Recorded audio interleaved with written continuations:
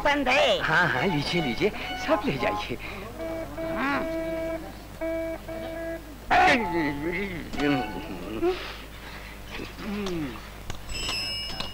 पहलवान हम भी बाल बच्चे वाले हैं। इस तरह रोज रोज फोकट में पियोगे तो हमारे बाल बच्चे भूखे मर जाएँगे। साले तेरी ये हिम्मत।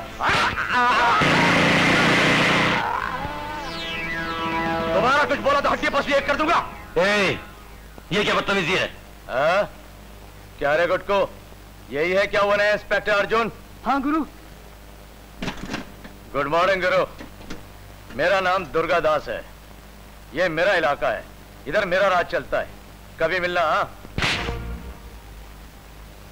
हाथ निकाल। नहीं निकालू तो?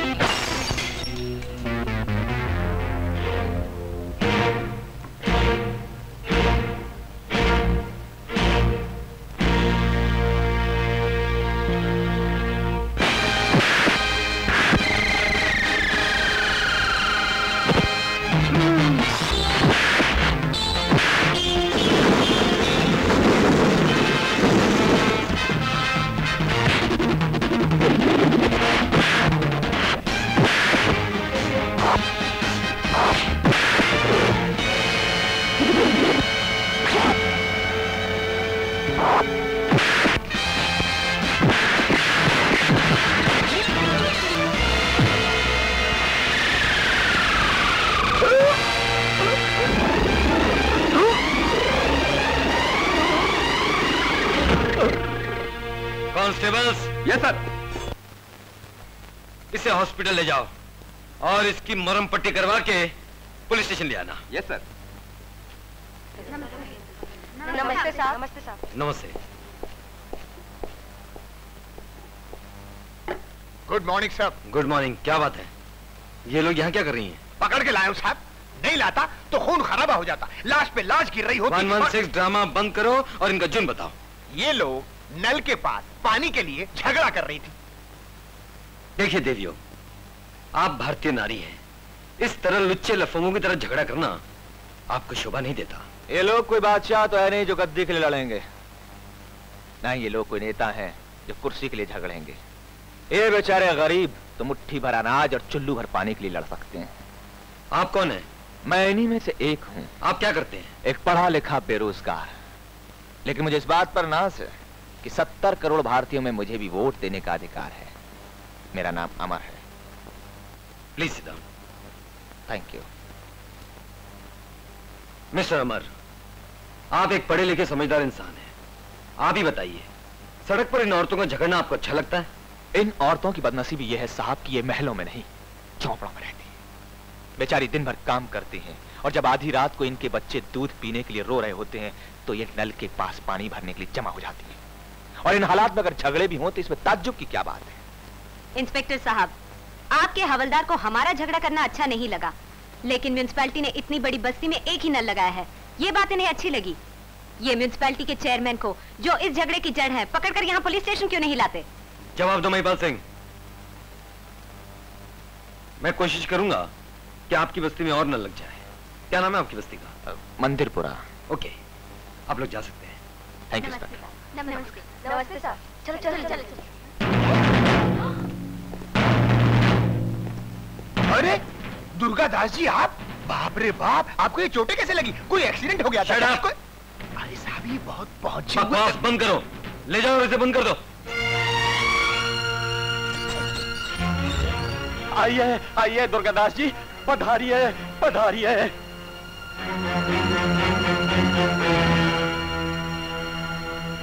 अरे नहीं भाई नहीं। मैं तो जनता का सेवक हूँ। लोगों के काम आना ही मेरे जीवन का मकसद है। बोलो हाँ? हाँ। इसीलिए तो मैं आपके पास आया हूँ। आप लक्ष्मी नारायण ट्रस्ट के एक तरह से मालिक ही हैं। उस ट्रस्ट की मंदिरपुरा वाली ज़मीन हमें दिलवा दीजिए। मैं वहाँ फाइव स्टार होटल बनाना चाहता हूँ। राम राम राम राम राम राम। अरे भैया वो ज़मीन तो देवी माँ की है। माँ को भला मैं कैसे बेच सकता हूँ? गुनाहगारों को पकड़ना हमारा फ़र्ज़ है। लेकिन कभी कभी कुछ गुनाहगारों को पकड़कर हम खुद गुनाहगार बन जाते हैं। इसलिए आँखें होते हुए भी हमें अंधा बनना पड़ता है। लेकिन सर आँखें होते हुए मैं मक्खी नहीं निकल सकता।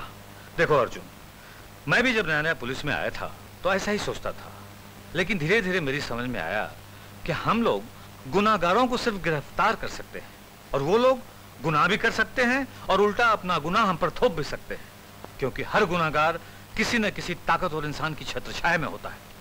गुंडों और बदमाशों की ताकत से डरकर मैं अपना फ़र्ज़ पूरा करने के रास्ते से नहीं हटूँगा सर। मेरी बात मानो और दुर्गादास को छोड़ दो।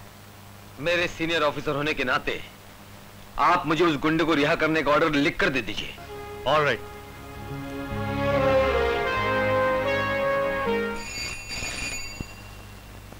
हेलो सरकार मैं लक्ष्मी बोल रही हूँ। हाँ बोलो बोलो। आज की नीलामी में मैंने एक बड़ी हसीन लड़की खरीदी है चूहे के कली जैसी। सोचा आपको खबर कर दूँ। पहली मुलाकात तो आप ही करेंगे ना? अरे भाई आज तो एक बहुत ही इम्पोर्टेंट मीटिंग है। सूरज पाल माथुर और कपूर के साथ हाँ। ए सरकार तो उन्हें भी ले आइए। वो गैर थोड़ी है। जहाँ सरकार वहाँ सरकार की परछाइयाँ। और हाँ आपके मनोरंजन का खास ख्याल रखते हुए मैंने नाच गाने का भी इंतज़ाम किया है। अच्छा जी। हाँ।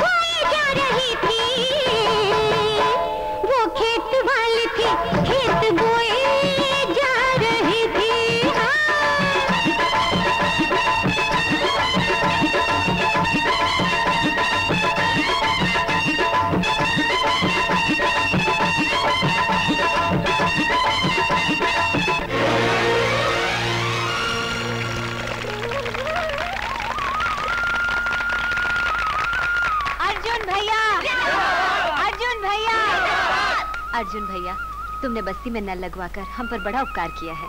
इसमें उपकार की क्या बात है? मुझे खुशी है कि मैं आप लोगों के कुछ काम आ सका। पुलिस वाले तो अक्सर ज़ोर जुलम ही करते हैं बेटा। तुम पहले पुलिस वाले हो जिसने हम गरीबों की मदद की। जुग जुग जियो बेटा। फ़िल्म देखा। रिक्शा चलेगा? बाप रे बाप। मुझे नहीं जाना सेठ जी। वो जो गाने गाता है ना उससे पूछो। हाँ सही है। ख्वाब है ए रिक्शा गाड़ी लेकर चलेगा? अरे क्यों नहीं चलेगा? देर से साला आराम नहीं है। दो रुपए लूँगा। एक रुपया। एक रुपया? एक रुपया तो सुअर का बच्चा ले जाता हूँ। आपको आधा आधा करके दो दफ़ा ले जाना पड़ेगा। दो दफ़ा? तभी रिक्शा नहीं चलेगा। खींचना पड़ेगा। पौने दो दो चलो। नहीं नहीं नहीं नहीं सवा रुपया। बैठ जाओ। देखा रे तेरी मनोस्मृति देखी ये कैसा साला पनौती ग्राहक मिल गया बेहतर आगे आगे आगे आगे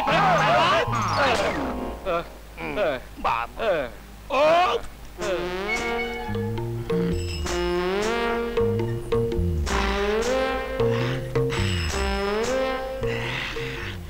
साला आदमी है क्या मटन की दुकान है? लगता है एक सवारी नहीं बैठी आधा भारत। क्या लगता है? अरे तुम्हें नहीं अपने आप को गाली दे रहा हूँ। पहलवान किस चक्की का पीसा हुआ आटा खाते हो?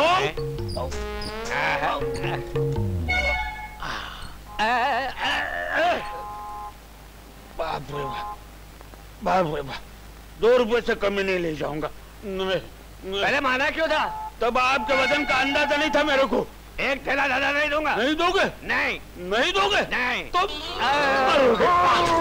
मारोगे मारो खून अबे मारो अरे अरे अबे अबे अबे अबे अबे मारो नमस्ते अरे नमस्ते खून लाश कहाँ है बीड़ी लाने। गई है आने दे पोस्टमार्टम करना पड़ेगा पोस्टमार्टम बाप रे बाप अरे तू किधर भाग अबे तू कहाँ जा रही है मेरे पैसे लेने पैसे लेने हाँ, अच्छा रिक्शा की घंटी कहाँ है? घंटी? अभी बताता हूँ। बता बता।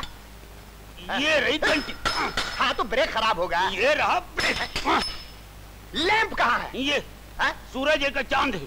सूरज है? हैं? फिर सूरज चमक तो लैम्प की ज़रूरत क्या है? अबे साले बेवकूफ़ समझ रहा है कि मुझे दिन रात में फ़र्क नज़र नहीं आता? अंदर करके बाहर निकालना भूल जाऊँगा। हवलदार साहब दिल में लैम्प की ज़रूरत ही क्या है? अच्छा अच्छा हवलदार से बहस करता है। ये वर्दी ये टोपी ये डंडा तुझे दिखाई नहीं देता। मानने की रात हो गई। और तुझे घर जाके लैंप लाने का मौका नहीं मिला। और कोई आदमी तेरे रिक्शे से टकरा गया? या तेरा रिक्शा अंधेरे में ट्रक से टक्कर खा गया? तब क्या होगा? समझ गया समझ गया। रिक्शा में बैठो कहाँ जाना है बोलो। है, समझ गया ना? एसपी साहब के बंगले बचल चल। एसपी साहब को मछली बहुत पसंद है। सौ रुपए देकर लाया हूँ पूरे पाँच किलो है। मत हवलदार साहब आपने कभी पैसा खर्चा किया है? वो मछली वाले को डंडा दिखा के मछली लाए हो। है, सब समझता साला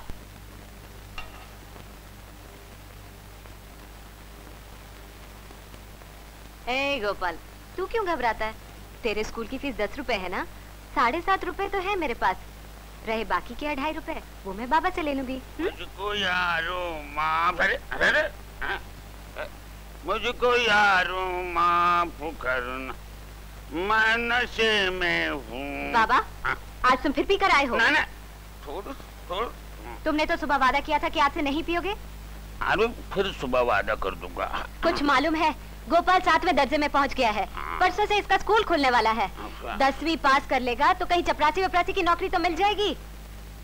कल इसके स्कूल की फ़ीस भरनी है अढ़ाई रुपए निकालो। बस अढ़ाई रुपया फ़ीस बस? फ़ीस दस रुपए है। मेरे पास साढ़े सात रुपए है। हाँ? तेरे पास साढ़े सात रुपए कहाँ से आए? कहीं से भी आए। तुम अढ़ाई रुपए तो निकालो। पहले साढ़े सात दिखा तू। अरे!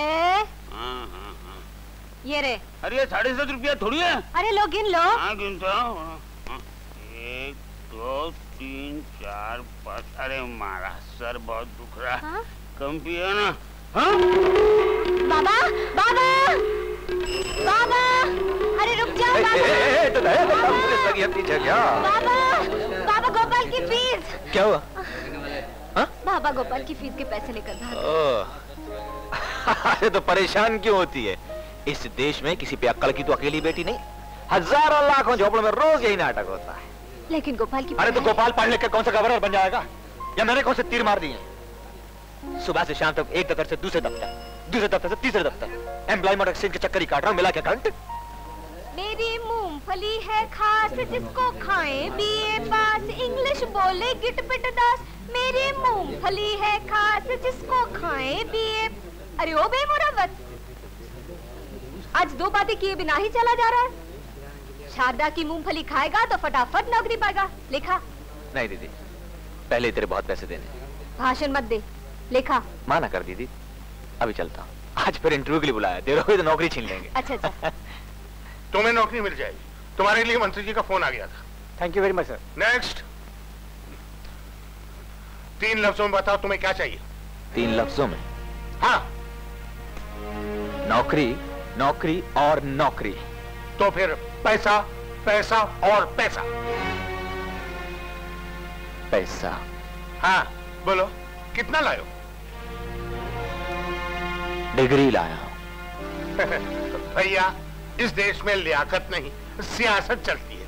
अगर तुम किसी एमएलए या एमपी के दूर के भी रिश्तेदार होते तो तुम्हें नौकरी ढूँढने के लिए नौकरी के कार्यालय में नहीं आने पड़ता। इसका मतलब तुम लावारिस हो। अगर चपरासी की नौकरी चाहिए तो एक हज़ार। और अगर सप्लाई के दफ्तर में क्लार्क होना चाहते हो तो पाँच हज़ार। दे जाओ और नौकरी ले जाओ। बाबू मेरे पास देने के लिए दस पाँच हज़ार रुपए होते तो मैं यहाँ क्यों आता? तो भैया बिना खर्चा किए तो दो ही काम मिल सकते या तो भीख मांगो या जेब काटो।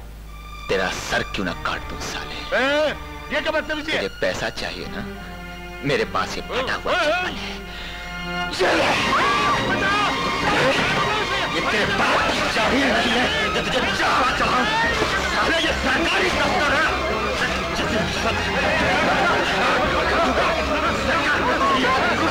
नौकरी करने जाओ से पकड़ के नीच। हमारे माँ बाप अपना अपने हित का कर में पढ़ाते हैं। सरकार ये रोज़गार दफ्तर इसलिए खोलती है कि हमें हमारा हक मिले और इस जैसे कमी ने हमसे हमारा हक छीनते हैं। लानत है तुझ पे आख चल चल चल, चल। चला मैं नहीं छोड़ूँगा। बंद करवा दूँगा साले को। एक एक बोतल शराब में बिकने वाले अफसर बेच खाए। क्यों बस करूँ दीदी? ये क्या पागलपन है?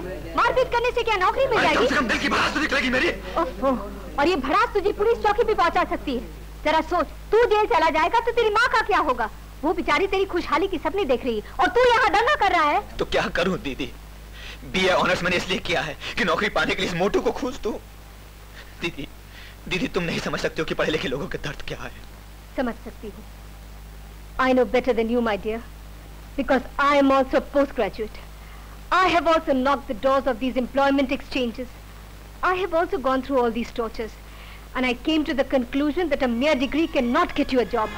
घूस खिलाए बगैर नौकरी नहीं मिल सकती और घूस खिलाने की मुझमें ताकत नहीं थी इसीलिए मजबूरन मुझे मूंगफली बेचनी पड़ी और इसी कमाई से मैं अपने घर वालों का पेट पालती हूँ। इज़्ज़त से जीने के और भी कई तरीके हैं। आई एम सॉरी दीदी। मेरा खून इसलिए खोलता है कि पता नहीं कैसे कैसे करके उसने मुझे पढ़ाया लिखाया। और आज मैं डिग्री लिए लिए घूम रहा हूँ और उधर मेरी माँ मजदूरी कर रही है।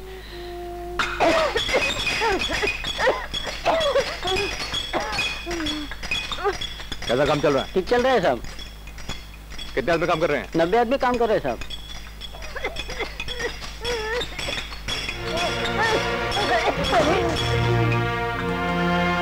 अरे आओ, क्या हुआ? चक्कर आ गया बेचारी को। ए मैनेजर ये क्या मुर्दारों का काम पे रखा हुआ है? निकाल बाहर करो उस बुढ़िया को। Okay sir. तुमसे कितनी बार कहा है कि अपनी बूढ़ी हड्डियों को पेरना बंद करो पर तुम होके सुनती ही नहीं। अरे बेटी मुझे क्या शौक है पत्थर ढोने का? अगर मैं काम नहीं करूँगी तो मेरे बेटे को खिलाएगा कौन? बस बस रहने दो। तुम्हारा बेटा कोई दूध पीता बच्चा नहीं। अब वो बड़ा हो गया है। कहीं कोई काम मजदूरी कर लेगा। अरे कैसी बातें करती है बेटी। पत्थर तोड़ तोड़ के क्या उसे इसीलिए पढ़ाया है कि वो मेरी तरह मजदूरी करे?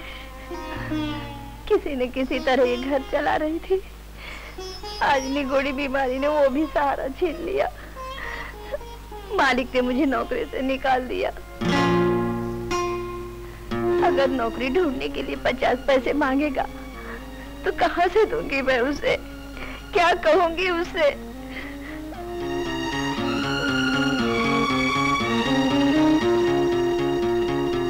माँ? माँ? माँ तेरे बेटे को नौकरी मिल गई माँ। हाँ, सच में? हाँ, भगवान तेरा लाख लाख शुक्र है। हाँ माँ तेरे भगवान ने सुन ली। अब सब दलित दर दूर हो जाएँगे। अब तुझे नौकरी करने की कोई ज़रूरत नहीं। नहीं बेटा। समझी? कुसुम कुसुम ये किसी मांगने वाले को दे देना। देख मैंने तुझसे कहा था ना मेरा बेटा एक दिन बहुत बड़ा अफसर बनेगा। हाँ हाँ माँ अफसर बनूँगा मैं। अरे मैं भी कुसुम के बाप से जाकर कहती हूँ कि जल्दी से ब्याह का मुहूर्त निकल अरे, जल्दी क्या मेरी भैया? हाँ तुझे बुखार है?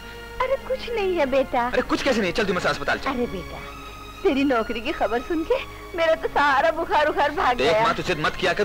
देख तेरी नई नई नौकरी लगी है। तू अपने दोस्तों में हंस बोल। मुझे ज़रूरत पड़ी तो मैं कुसुम के साथ अस्पताल चली जाऊँगी। अच्छा तू मुझे बहला मत चल। बीस नंबर बेड का पेशेंट इंजेक्शन देते ही मर गया। तुम तो ऐसे चिल्ला रही हो जैसे तुम उसकी रिश्तेदार हो। मुझे उसकी मौत पर अफसोस नहीं। घबराहट है नकली इंजेक्शन देने पर। ओफो तुम मरी क्यों जा रही हो? फ़ौरन जाकर शीशे बदल दो। बाकी मैं संभाल लूँगा। क्या?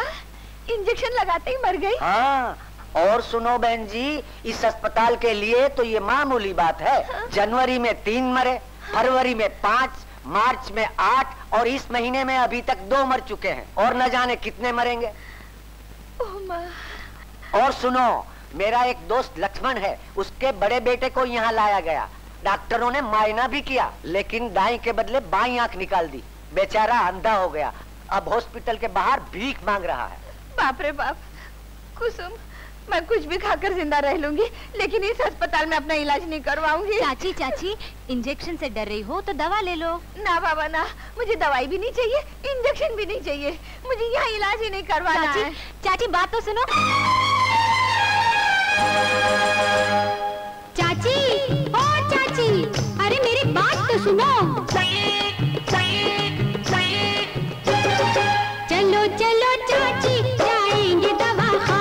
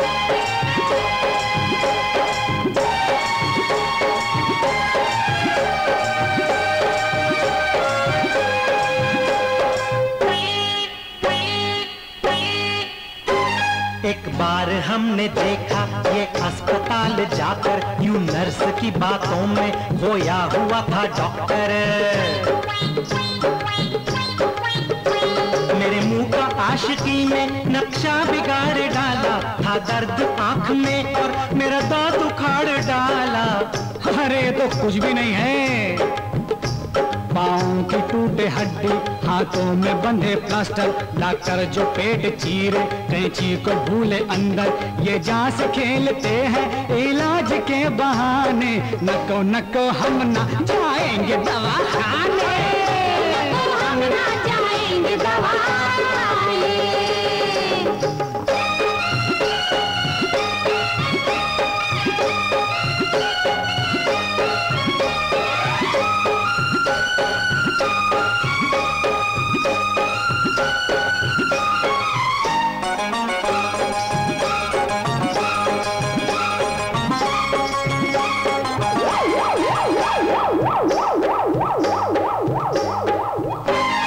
एंबुलेंस से जब मंगाओ, ड्राइवर के लिए रिश्वत, भर्ती के लिए जाओ, बिस्तर के लिए रिश्वत।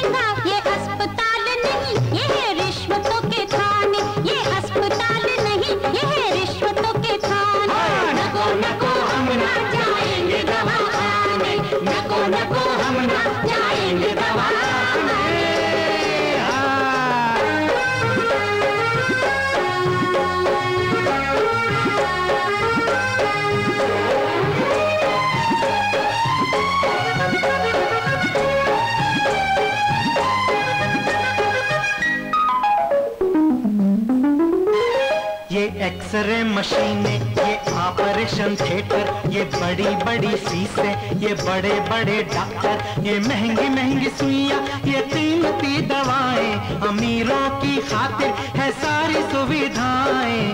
अरे हम ठहरे गरीब हम नहीं जाएँगे दवा खाने तो कब जाओगे दवा खाने जब होंगे सब बराबर एक जैसी दवा देंगे सबको जब डॉक्टर बख्शिश नहीं का चक्कर। मिलके सभी जाएँगे, तभी खाने।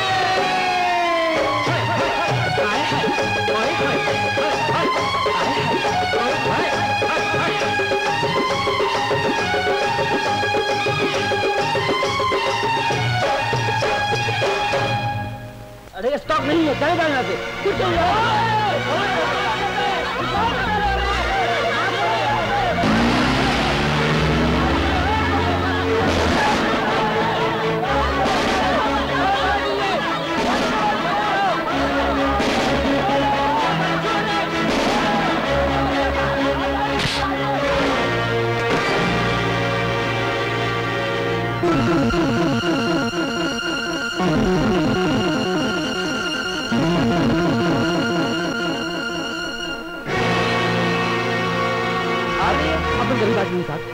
इतने में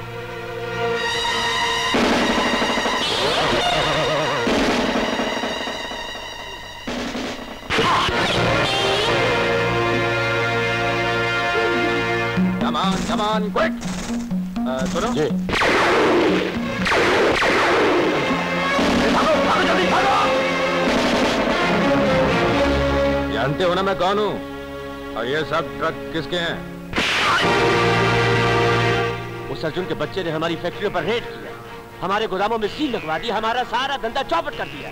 और तुम यहाँ बैठे बैठे मक्खिया मारे मेरे को नहीं चाहिए अभी चाय पी है। चाय पिए बाप रे। देखा भैया अर्जुन सिंह ने दस दादा की माँ के दूध में हुकुम का इक्का रेल दिया पैसा दे गया। अरे शहर तो आप रहने लायक हो गया है। माँ बहनों की इज़्ज़त आबरू पर डाका पड़ना बंद हो गया है। कल मेरी बहन अकेले जाकर सेकंड शो में पिक्चर देख के आई है। मजाला किसी की जो सीटी बजा दे। हाँ? हाँ। अरे भगवान अर्जुन सिंह की हमेशा के लिए यहीं की ड्यूटी लगा दे। जिंदगानी चैन से गुजरेगी भैया। Well done my boy well done congratulation तुमने चार्ज लेते ही अपने शहर से गुनाह और गुंडागर्दी की छुट्टी कर दी। आइए साहब ये तो मेरा फ़र्ज़ था। और भी बहुत कुछ करना है। लेकिन सर मैं समझता हूँ। एसपी सूरजपाल सिंह की परवाह मत करो। तुम्हारी पीठ पर मैं हूँ। Go ahead thank you sir तुम लोगों ने शरीफ माँ बहनों का जीना अजीर्ण कर रखा है। अब तो मैं इस शहर को सनलाइट साबुन से धो के साफ़ किए बिना नहीं मानूँगा। तेरे को थाने में खांसी आती घर में गाना गाती है तू? हवलदार महिपाल। कौन है ये लोग? सालिया पेशा करती है साहब। मुखबरी होते ही मैंने कांस्टेबलान मधुरा प्रसाद और शब्बीर अली के साथ छापा मारा और एक इज्जतदार घर में से ये सात अदद बेइज्जतियाँ बरामद की। और साहब महीने का आखिर भी है कुछ केसेस भी तो चाहिए अपन को। केसेस के लिए या अपनी जेब गर्म करने के लिए इन्हें पकड़ कर लाए हो? छोड़ दो जिस देश में घी दूध दवा अनाज शिक्षा राजनीति और धर्म जैसी चीज़ें नकली या मिलावटी बिक रही हैं उस देश में सिर्फ़ ये औरतें ही बिना किसी मिलावट के अपना शरीर अपनी इज़्ज़त बेच रही हैं। मुजरिम ये नहीं मुजरिम वो है जो इन्हें ऐसे काम करने पर मजबूर करते हैं। इनके पते मालूम करके इन सबको अपने अपने घर भिजवाने का बंदोबस्त करो। साहब आप अरे यूँ किसी के पैर नहीं छूते बहन। बहन? आपने मुझे बहन कहा? जो औरत मेरी माँ मेरी पत्नी मेरी प्रेमिका नहीं है उसे मैं और क्या कहूँ? क्या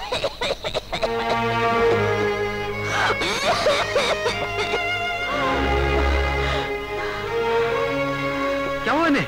भाई सिंह जल्दी ना हॉस्पिटल ले जाओ। आप इस लफड़े में क्यों पड़ते हैं साहब? लंका भाई खुद ही भुगत लेगी। नहीं नहीं मुझे लंका लक्ष्मी के घर मत भेजिए सरकार। मुझे सीधे शमशान भेज दीजिए प्लीज़ ठीक है ठीक है ठीक है ठीक है। ये लंका भाई कौन है? अरे साहब, लंका भाई शहर की पावरफुल ज़बरदस्त औरत है। कोई सरकारी काम करवाना हो, किसी को कॉन्ट्रैक्ट दिलवाना हो तो यूँ चुटकियों में दिलवा देती है। बस यूँ समझ लीजिए कि लंका बाई का घर इस ज़िले का एक तरह से सचिवालय है। आइए आइए, अचिन बाबू। आपका इंतज़ार करते करते तो इस बांदी की आँखें पथरा गई। कोतवाली से यहाँ आने में आपने एक घंटा लगा दिया। ये देखिए आपके लिए विस्की ब्रांडी चाय कॉफ़ी सब चीज़ों का इंतज़ाम है। फरमाइए क्या नोश फरमाएँगे? आपको किसने बताया कि मैं यहाँ आ रहा हूँ? मोर को आने वाली बारिश की कोई खबर देता है अर्जुन साहब? उसे तो हवा में ही महक आ जाती है। उसी तरह लंका लक्ष्मी ने भी हवा में आपकी महक सूंघ ली। जैसे हमारी दुनिया में आपके मुखबिर हैं उसी तरह आपकी दुनिया में हमने भी कई कुत्ते पाल रखे हैं। नोटों का छिछड़ा देखते ही दुम हिलाने लगते हैं। कहिए क्या कीजिएगा? इस वक्त मैं ड्यूटी पर हूँ। यूनिफॉर्म में मैं किसी के घर कुछ खा पी नहीं सकता। हाँ सुना है आपने हमारी एक लड़की को अस्पताल भेज दिया। आपकी मानवता की भावना का बहुत बहुत शुक्रिया। और बाकियों को उनके घर भेज दिया है। अच्छा घर भेज दिया? आप देखना चाहते हैं अब वो कहाँ है?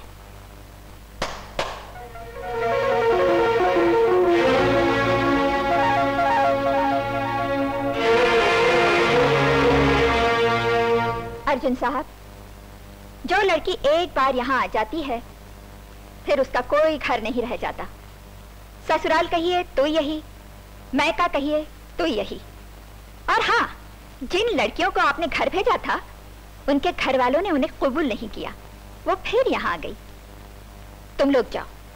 उसकी वजह यह है कि इन लड़कियों की जिंदगियों की बागडोर आपके हाथ में है। ये जो आप इन लोगों का जिस्म इनकी खूबसूरती बेचकर पैसे कमाती हैं ये बहुत बड़ा पाप है बहुत बड़ी निष्ठा है। इनको ज़िंदा रखने के लिए और अच्छे पेशे भी हैं। हमें अच्छी तरह मालूम है। जब आपको मालूम है तो फिर आप ये धंधा बंद क्यों नहीं कर देती? कैसी बातें करते हैं आप? समाज के मुँह को खून लग चुका है। हमें समाज की और समाज को हमारी ज़रूरत है। अर्जुन साहब, इस देश के आधे लोग शराब की दुकानों और हमारे कमरों में अपनी जिंदगियाँ बिताते हैं। ठेकेदारों को बड़े बड़े ठेके दिलवाने में हमारी ज़रूरत पड़ती है।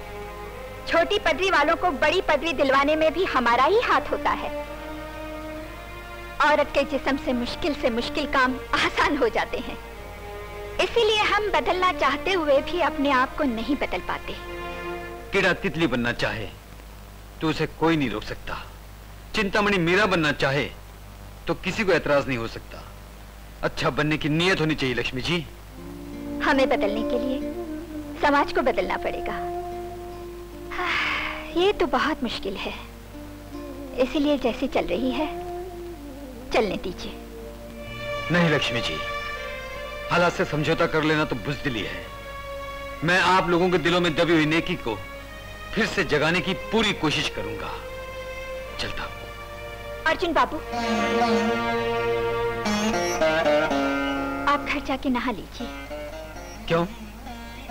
क्योंकि आप ऐसी जगह आए हैं।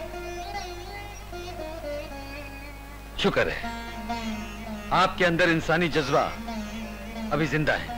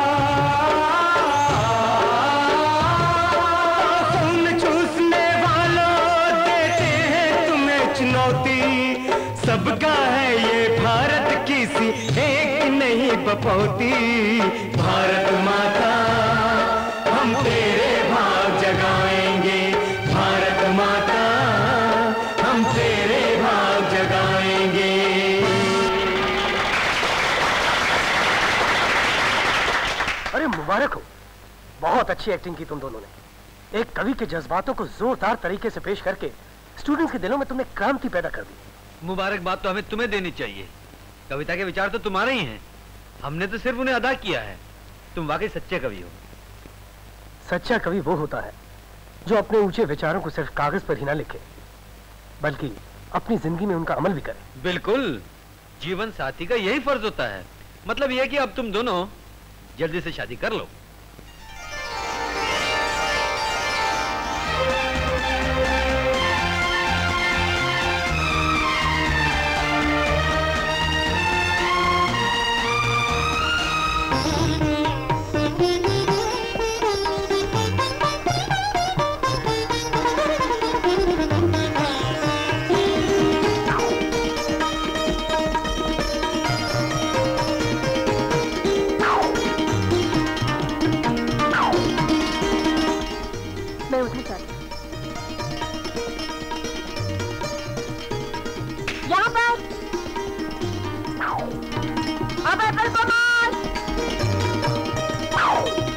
वाह वाह वाह। क्या निशाना लगा है। शाबाश।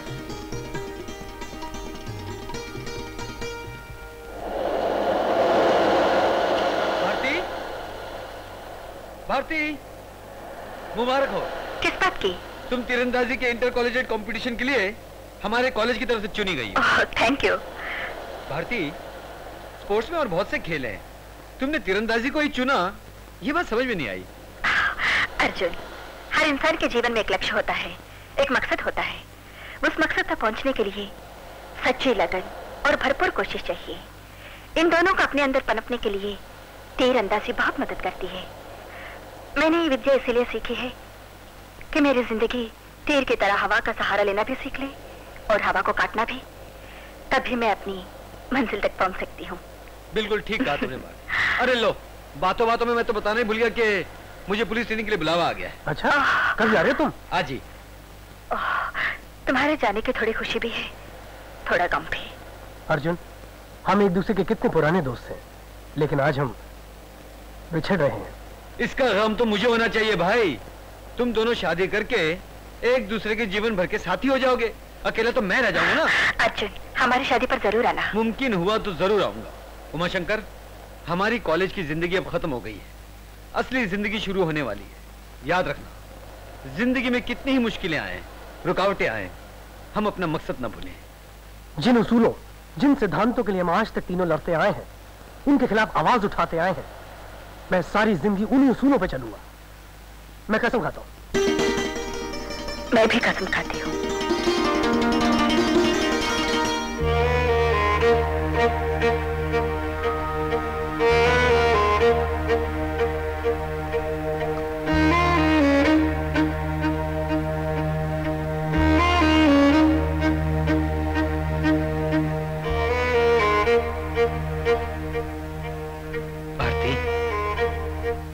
उमाशंकर कहाँ है?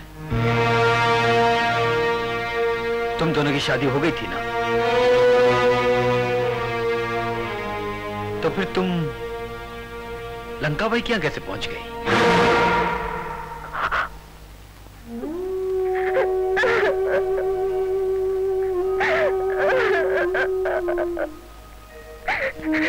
अरे भारती रो मत।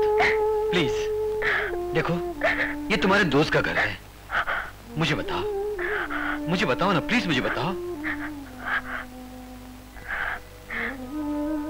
तुम्हारी ट्रेनिंग पर जाने के कुछ ही दिनों के बाद उमा शंकर से मेरी शादी हो गई।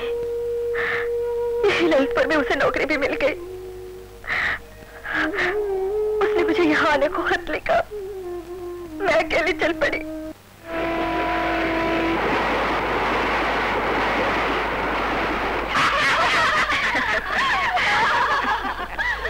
मगर बहन जी दिन बहुत बुरे हैं। अकेले सफ़र नहीं करना चाहिए। अकेले कहा? इतने लोग साथ में हैं। फिर ललितपुर सिटी स्टेशन से ऑटो पकड़ के घर चले जाऊँगी। Ticket ticket. ये लड़की किसकी है? मेरी है। इसका टिकट? टिकट? अभी इसे पूरे पाँच साल नहीं हुए। क्या? पाँच साल नहीं हुए? अच्छा हुआ ये नहीं कहा कि पूरे पाँच महीने नहीं हुए। क्या? इक्कीस रुपए साठ पैसे निकालो। दस रुपए अस्सी पैसे टिकट के दस रुपए अस्सी पैसे फाइन के। अरे वाह कोई ज़बरदस्ती है? हिटलर शाही चलाता है पैसे निकालो। मेरे पर्स के पैसे क्या तेरे बाप के हैं जो निकालो। देखिए बहन जी। हाँ तू दिखाएगा मुझे? क्या दिखाएगा? दिखा दिखा। तुझे क्या मेरी बच्ची पाँच साल से ज़्यादा की लगती है? कौन करेगा बच्चा कहेगा कि मेरी बच्ची पाँच साल से ज़्यादा है? आप बोलिए आप बोलिए आप ही बोलिए भाई साहब। वैसे बहन जी ठीक ही कह रही हैं। वैसे मुझे तो बहन जी खुद सोलह साढ़े सोलह साल से ज़्यादा नहीं लगती। तेरह साल की उम्र में ब्याही होंगी बच्चे की उम्र तब भी ढाई साल से ज़्यादा नहीं हो सकती। आपको ये सोलह साढ़े सोलह साल की लगती है? सोलह साढ़े सोलह साल की तो नहीं भाई साहब। उन्नीस अगस्त को इक्कीस की हो जाऊँगी। अच्छा बहन जी मेरा कसूर माफ़ कीजिए। ये बच्ची तो अभी पैदा ही नहीं हुई। पैदा होने की कोशिश कर रही है।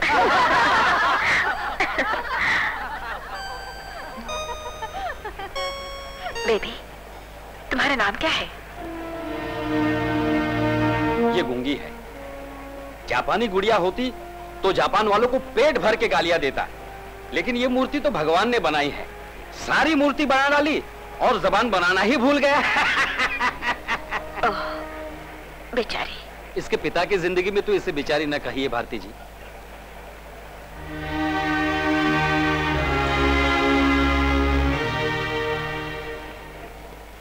ये क्या है संतालिया जी?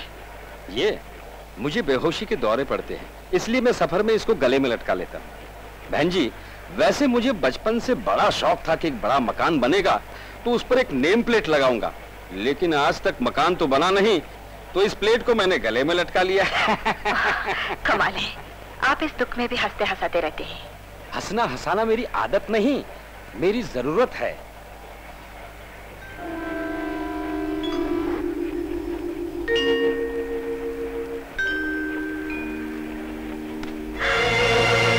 उस पर बेहोशी का दौरा पड़ा उधर ललितपुर किंता गया। मैंने मुसाफिरों से मदद मांगी, लेकिन किसी ने मेरी मदद नहीं की। मैं बड़ी मुसीबत में पड़ गई। उमाशंकर मुझे लेने ललितपुर सिटी स्टेशन पर आया होगा। लेकिन मैं एक बेहोश आदमी को छोड़कर कैसे जा सकती थी? मैं उसे लिखे हुए पते पर ले गई। वहाँ मुझे एक औरत मिली। उसने मेरा बड़ा शुक्रिया अदा किया। वो बोली, ललितपुर सिटी में कर्फ्यू लगा हुआ है। आज रात यहीं रह जाओ। या फिर मैं एसपी को फ़ोन करके तुम्हारे लिए पुलिस एस्कॉट मंगाती हूँ। तब तक तुम हाथ मुँह धोकर चाय पी लो।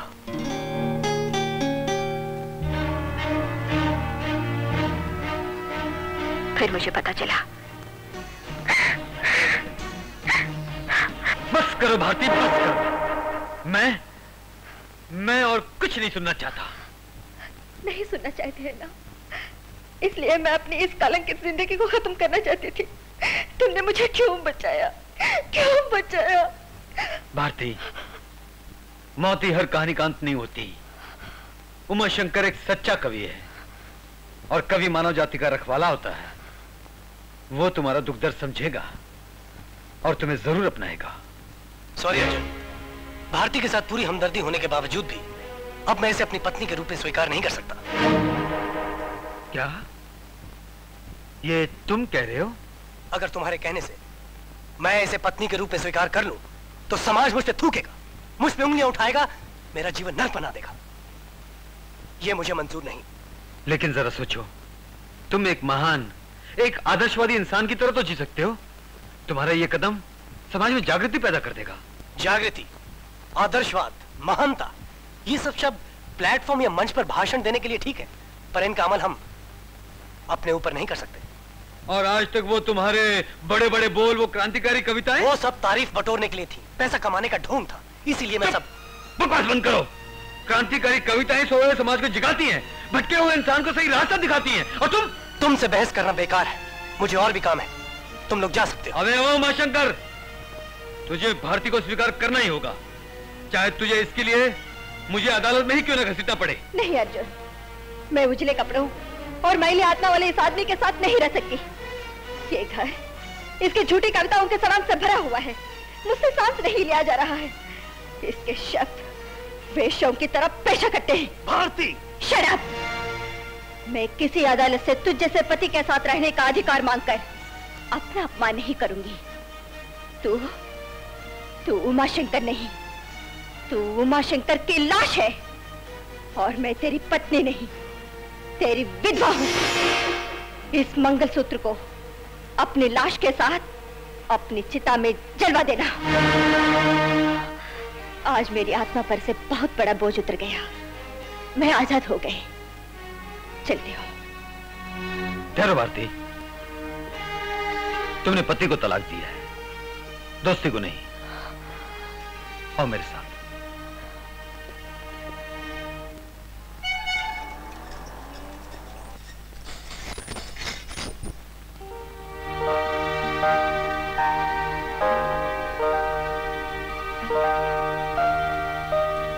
तो तुम्हारी पढ़ाई ने ये काम दिलवाया तुम्हें?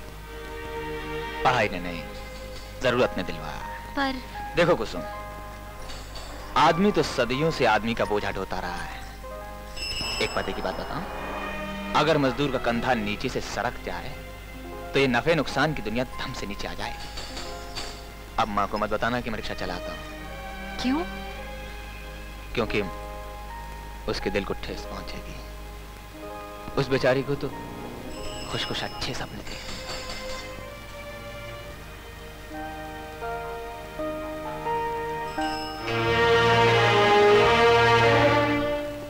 भारती?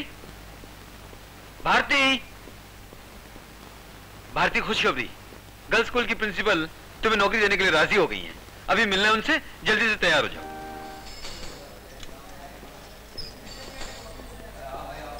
भारती, तुम रिक्शा पकड़ के घर चलो, मैं दो चार काम खत्म करके आता हूँ।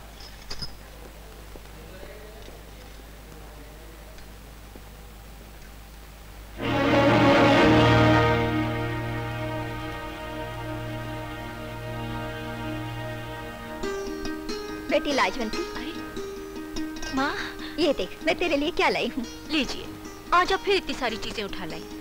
तो क्या हुआ? मेरा बस चले तो तेरे लिए मैं सारी दुनिया उठा लाऊं अब बैठ मेरे पास बैठ। बाकी सारी लड़कियाँ जलती हैं मुझसे क्योंकि माएँ तो इतनी चीज़ें नहीं लाती जितनी चीज़ें आप इस अनाथ लड़की के लिए लाती हैं। अनाथ हो तेरे दुश्मन। तू मेरी बेटी ना हुई तो क्या हुआ? मेरी बेटी जैसी तो है। हूँ बहू वही शक्ल। तुझसे मिल लेती हूँ तो मेरे कलेजे की आग ठंडी हो जाती है। ऐसा लगता है जैसे मेरी बेटी स्वर्ग से लौट आई है। तो फिर आप मुझे अपने घर क्यों नहीं ले चलती कभी? हॉस्टल में रहते रहते बोर हो गई मैं तो। ये नहीं पता घर कैसा होता है। ले चलूँगी किसी दिन। अच्छा अब मैं चलती हूँ। अच्छा। बेटी अपना ख्याल रखना हुँ?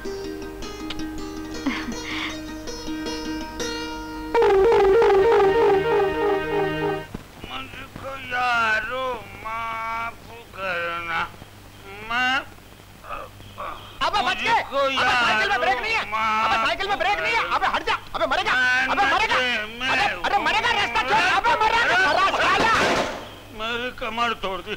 मेरी कमर। ठहर तू। अबे शराबी तू कितनी बार तुझे बोला है कि शराब पीकर सड़कों पे मत घूमा कर लेकिन तू नहीं मानता। आज मैं तुझे ट्रैफ़िक एक्ट के मुताबिक नहीं छोड़ने वाला। अरे जा। बड़ा आया नहीं छोड़ने वाला। आज तो मैं तुझे नहीं छोड़ूँगा। नहीं छोड़ूँगा। नहीं छोड़ूँगा। बिना ब्रेक की साइकिल चलाता है।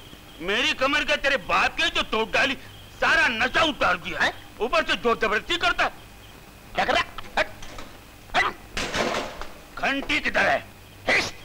मुझे घंटी की क्या ज़रूरत है? देखता नहीं मेरे पास ये भोपू है। ये नहीं चलेगा। लाइट किधर है? चोरी हो गई? अबे हवलदार मैं हूँ कि तू? इस, इस। तेरी साइकिल में ना ब्रेक है ना लाइट है ना घंटी है और इतनी रात को निकल पड़ा। अगर किस हालत में किसी ट्रक या लारी से टकरा गया होता तो इसकी ज़िम्मेदारी किसकी होती? बोल। पुलिस वाले की तरफ़ पूछताछ कर रहा है। पाँच रुपए का नोट निकाल। क्या? पाँच रुपए का नोट निकालने तो चालान कर दूँगा। अगर नोट ना हो तो चिल्लर भी चलेगा। चल। चल चल निकाल। निकाल। पुलिस वाले से रिश्वत मांग रही हो साले? क्यों नहीं? हम भी तो रिश्वत चखे। कानून क्या सिर्फ़ रिक्शा वालों के लिए है? ए, को कानून सिखाता है। शराबी न्यूसेंस केस में बंद कर दूँगा। चल, बड़ों के साथ इज़्ज़त से पेश आते समझे? अबे हट इज़्ज़त का बच्चा। चल चल चल चल। अभी बताता हूँ तुझे इज़्ज़त क्या होती है। आजा आजा। ले ले ले आ गया पुलिस स्टेशन। साहब से कह के अंदर कर दूँगा तो बाहर नहीं निकालूँगा साले। मैं तो तुझे आज नहीं छोड़ूँगा। मुझे नहीं छोड़ेगा? अच्छा अच्छा अच्छा। कैसे नहीं छोड़ेगा? हैं? एक हाथ से साइकिल कैसी खड़ी होगी दो हाथ से कर। अबे मुझे अकल सिखाता शराबी। ठहर मैं तुझे अभी सिखाता हूँ। अबे अबे अबे रुक जा। अबे दारू बाज अबे रुक जा। अबे रुक जा। नमस्ते साहब नमस्ते साहब नमस्ते। नमस्ते। ए, ये क्या बदतमीजी है? खड़े हो जाओ। बड़ों के सामने खड़ा रहना तो बदतमीजी साहब। आइए आइए। एक सौ सोलह उधर क्यों खड़े हो? हाँ? साहब को देखो डर गए क्या? आओ हिस्ट हिस्ट। साहब ये नशे में धुत होकर सड़क पर न्यूसेंस कर रहा था। जो जो नहीं नहीं नहीं साहब मैं तो शराब पी के न्यूसन करता हूँ। लेकिन ये तो किसी नुक्कड़ की दुकान से आधा कुल्लर चाय पी के न्यूसन करता है। ईज क्या है ईज क्या? साहब इनकी एक साइकिल है। एक फ्रेम और दो पहियों के सिवा उसमें कुछ भी नहीं। ना ब्रेक है ना लाइट है ना बेल है कुछ नहीं। इन सब के बिना सड़क पर साइकिल चलाते रात को साहब आज ये मुझसे टकरा गए किसी लारी से टकराए होते तो लारी का क्या होता? बोल बोल। क्यों? क्या ये ठीक कह रहा है? अ, कह तो ठीक रहा है सर लेकिन बात ये थी सर अ, लेकिन आ, वेकिन कुछ नहीं। जाओ पच्चीस रुपए फाइन भरो। है? जाओ। यस सर जाओ फाइन भरो जाओ साहब अच्छा सबक सीखा। यादव तुम दिन रात मेहनत करके रुपया कमाते हो। न खुद खाते हो न अपनों को खिलाते हो। सारी कमाई शराब में उड़ा देते हो। अगर तुम्हें कुछ हो गया तो तुम्हारे बच्चों का क्या होगा? ज़िंदा रहकर भी मैं उनके लिए क्या कर रहा हूँ साहब? तुम्हें शर्म नहीं आती ऐसी बातें करते हुए? तुम्हारी बेटी खाने के डिब्बे ढोडो को रुपया कमा रही है और तुम अपनी ज़िम्मेदारी को भूलकर जानवरों जैसी ज़िंदगी बिता रहे हो। मैं आखिरी वार्निंग दे रहा हूँ। दोबारा पीकर दिखाई दिए तो अपने जूते से मारना साहब हाँ मारना। जब कभी दारू पीता हूँ, साहब दूसरे पुलिस वाले यहाँ लाकर मारते। कभी किसी ने समझाया नहीं हमको। यादव ये दारू पीना बुरा है। साहब, अब देवता है। देवता अरे, ये क्या कर रहे हो? साहब चलता ठीक है जाओ। हाँ। जाओ।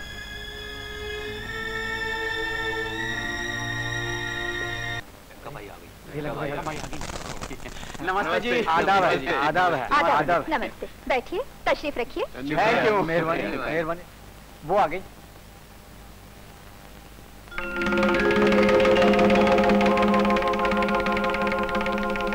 क्योंकि ये नीलामी लंकाबाई के घर पर हो रही है इसलिए बोली वही शुरू करेंगी। दस हज़ार। एक नज़र देख के दाम लगाओ लंका बाई हम तो खत का मजमून भाप लेते हैं लिफाफा देखकर। आज तो बंचाल ही चलूँगी। अपन अंधा खेल नहीं खेलते क्योंकि अपन जुआरी नहीं व्यापारी हैं।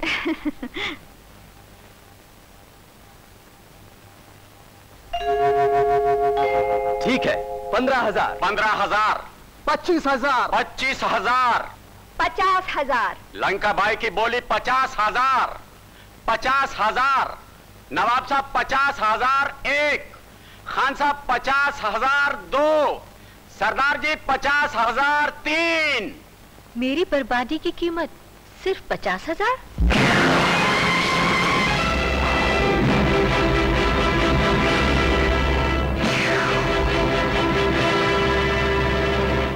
उन जिंदगियों के बारे में सोचिए लक्ष्मी जी जो आपके हाथों खराब हुई है। आप मुझे यहाँ देखकर हैरान क्यों हो गई हैं? जिस तरह बारिश के आने की खबर मोर को हो जाती है पुलिस की धार की खबर गुनेगारों को हो जाती है उसी तरह हमको भी मुजरिमों की काली करतूतों का पता चल जाता है। अरे इस तरह आप खामोश क्यों खड़ी हैं? या तो इस लड़की को खुद खरीद लीजिए या फिर बिक जाने दीजिए। मैं तो ये देखने आया हूँ कि माँ बेटी के बदन का दाम क्या लगाती है। उस दिन जब मैंने आपको स्कूल के कंपाउंड में लाजवंती के साथ देखा तो मेरा माथा ठनका कि स्कूल से लड़कियाँ सप्लाई होती हैं? छानबीन की तो पता चला कि लाजवंती आपकी बेटी है। और जब मैंने लाजवंती को यह बताया तो आपके घर में नीलाम होने के लिए तैयार हो गई। मैं ये देखना चाहता था कि अपनी बेटी को बिकता देखकर आपके दिल पर क्या गुजरती है। आप में पश्चाताप की भावना है या नहीं? अर्जुन बाबू, मेरे पाप और गुनाहों की कोई माफ़ी नहीं है। मुझे ज़िंदा रहने का कोई हक नहीं है। मुझे फांसी पे लटका दीजिए मुझे मार डालिए। ये करना होता तो मैं ये सब न करता। आपको सही रास्ते पर लाने के लिए मुझे ये नाटक करना पड़ा। भैया मैं आपकी बहुत शुक्रगुजार हूँ। आपके ज़रिए मुझे मालूम हुआ कि मेरी माँ कौन है। और मुझे इस बात की भी खुशी है कि जिस औरत की कोख से मैंने जन्म लिया उसे सुधारने में आपकी थोड़ी सी मदद मैं भी कर सकी। आइए हम चलें। रुक जाओ बेटी।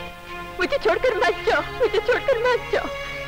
जब तुमने मुझे सही रास्ता दिखाई दिया है तो क्या अब उस रास्ते पर चलने के लिए तुम मेरा साथ नहीं दोगी? अर्जुन बाबू, समझाइए ना इसे। घबराइए नहीं। लाजवंती आपको छोड़कर कहीं नहीं जाएगी। माँ सापिन हो तो बेटी जहर बनती है। माँ दीपक हो तो बेटी क्षमा बनती है। लाजवंती क्षमा बनकर यहाँ के अंधेरे को दूर करके रोशनी करेगी। है ना, लाजवंती? हाँ। माँ?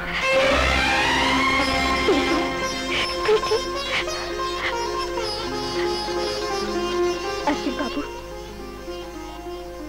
ये मेरी खुश नसीबी है कि आप जैसे देवता ने मेरी आँखें खोल दी। मुझे इस नर्क से निकालकर सही रास्ता दिखाया। मैं कसम खाती हूँ। आज से सिर्फ़ लाजवंती ही मेरी बेटी नहीं, बल्कि वो सारी लड़कियाँ, जिनकी मेरी वजह से जिंदगियाँ बर्बाद हुई हैं, वो सब मेरी बेटियाँ हैं। मैं वादा करती हूँ। लक्ष्मी जी, इस समाज का सत्यानाश इसीलिए हुआ है कि लोग आँखें होते हुए भी सच्चाई नहीं देखते, कान होते हुए भी सही बात नहीं सुनते। मुझे बड़ी खुशी है कि आपके अंदर दबी हुई नेकी फिर से बाहर आ गई। लड़कियों, अपने अपने तीर कमान उठाकर लाइन लगाओ। चलो चलो, जल्दी करो। अब कमान को ऐसे पकड़ो और इसमें तीर इस तरह लगाओ। सुनो, ये धनुर्विद्या हरेक को सीखनी चाहिए, खास तौर से लड़कियों को।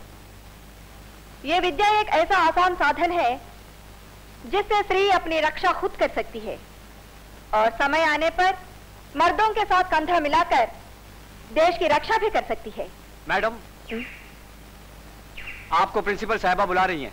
अच्छा। No madam. सीधी बात ये है कि हमारी बेटियाँ उस स्कूल में नहीं पढ़ेंगी। भारती को आप स्कूल में से निकाल दीजिए। नहीं तो हम अपनी बेटियों को इस स्कूल में से निकालेंगे। मैं आज ही अपने हस्बैंड से कहकर उस एसआई को पुलिस फोर्स से निकलवाती हूँ। नहीं तो सारा शहर नर्क बन जाएगा। चलिए मिसेस कपूर। चलिए चलिए।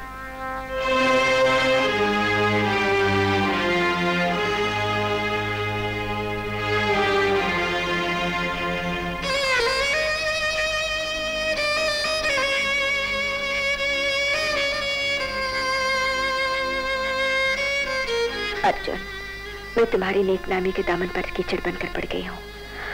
इस दाग को मिटाने के लिए तुम्हारी ज़िंदगी से सदा के लिए हट रही हूँ।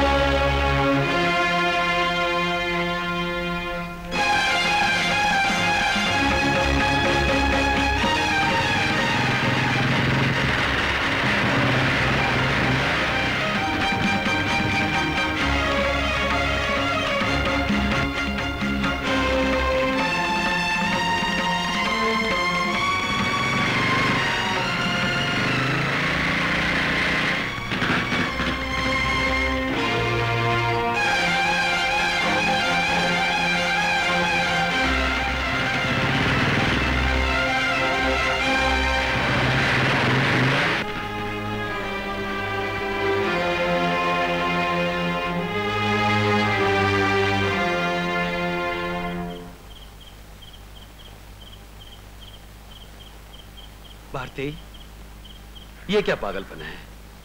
तुमने मेरी दोस्ती को इतना खोखला समझा कि मुझे मुझे छोड़कर चली आई। याद है, उस दिन हम लोगों ने कसम खाई थी कि ज़िंदगी में चाहे कितनी ही रुकावटें क्यों ना आए, हम अपना मकसद नहीं भूलेंगे। कहाँ गया तुम्हारा वो मकसद? कहाँ गया तुम्हारा वो फैसला? अपना मकसद हासिल करने के लिए मैं तुम्हारी ज़िंदगी बर्बाद नहीं कर सकती। मेरी बदनामी के छींटे। तुम्हारी पुलिस की वर्दी को गंदा कर देंगे अर्जुन। भारती समाज से डरकर भागोगी तो वो तुम्हारा पीछा करता रहेगा। डटकर सामने खड़ी हो जाओगी तो यही समाज कुत्ते की तरह दुम दबाकर भाग जाएगा। अर्जुन ये विचार स्टेज पर भाषण देने के लिए ठीक है। इस समाज से लड़ना इतना आसान नहीं है। अगर इसी समाज ने यह कहा कि मैंने तुम्हारे साथ कोई गलत काम करने की कोशिश की होगी, तभी तुम घर छोड़कर चली गई। तब तुम क्या करोगी? ठीक है। अगर तुम्हें समाज का इतना ही डर है तो मैं तुमसे शादी करने के लिए तैयार हूँ।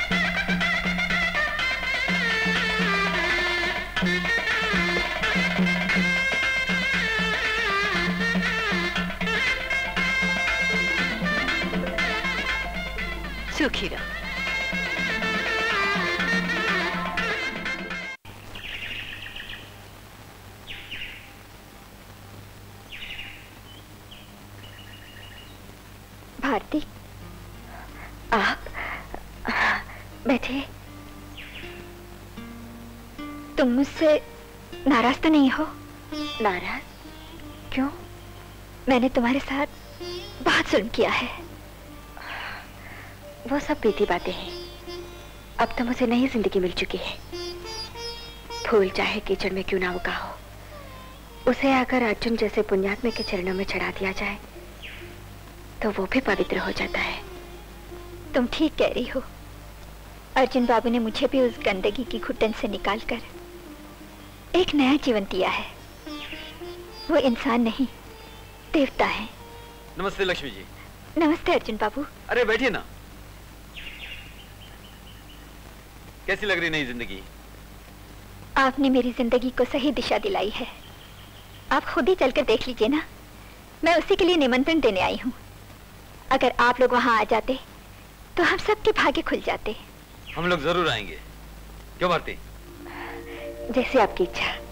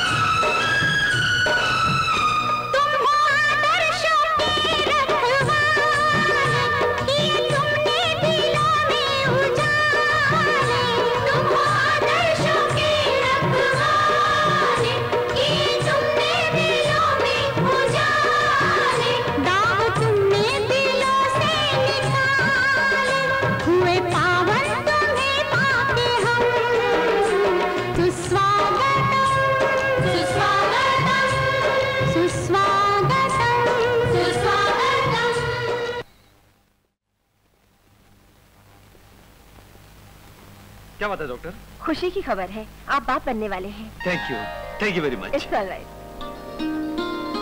Bharti? ए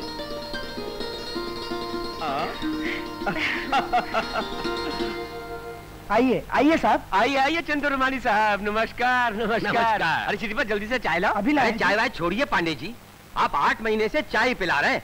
मंदिर वाली ज़मीन पे तीस लाख रुपए एडवांस दिया है।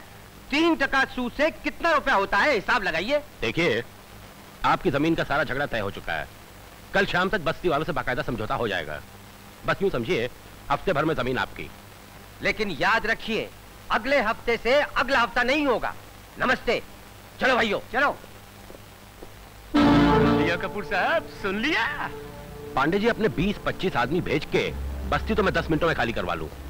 लेकिन बस्ती वालों को सब इंस्पेक्टर अर्जुन का पूरा सपोर्ट है। अच्छा तो फिर ये काला कोट उतार के ना मंदिर में जाकर पूजा पाठ के लिए बैठ जाइए हाँ।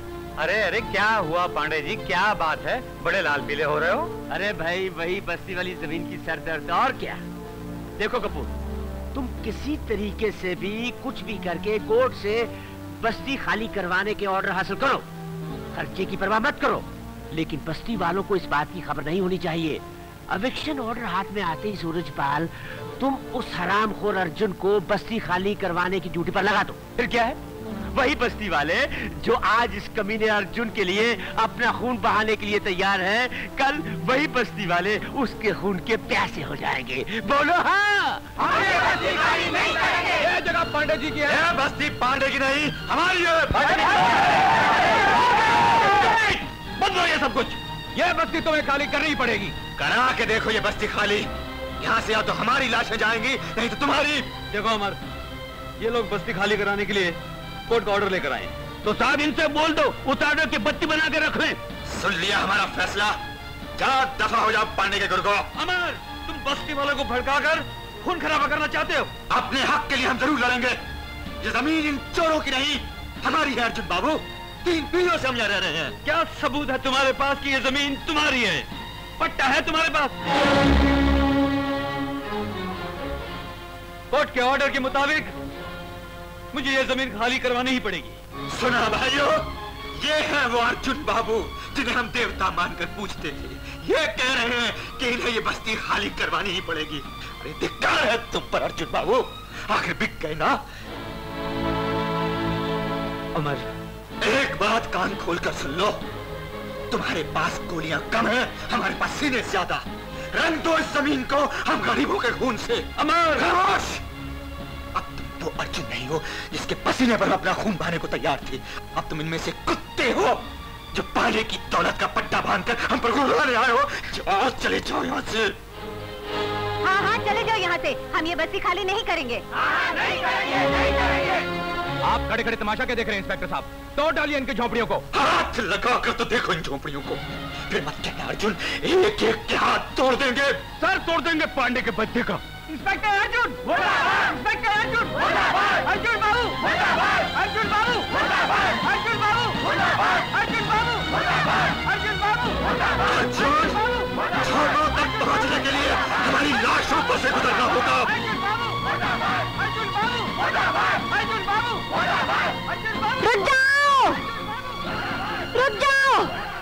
जाओ मैं आगे ले हूँ।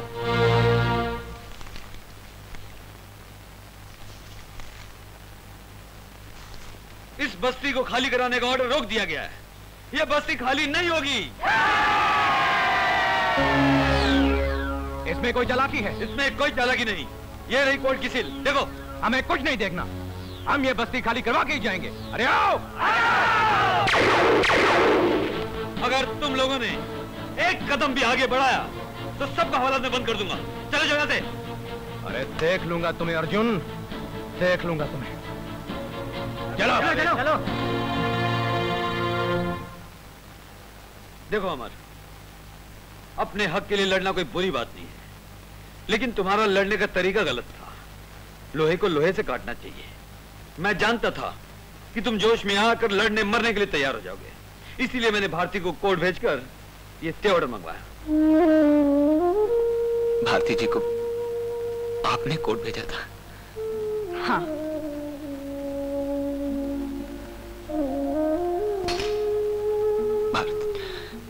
मुझे मुझे माफ़ कर दो मैं मैं बहुत शर्मिंदा हूँ भाई। अरे ये क्या?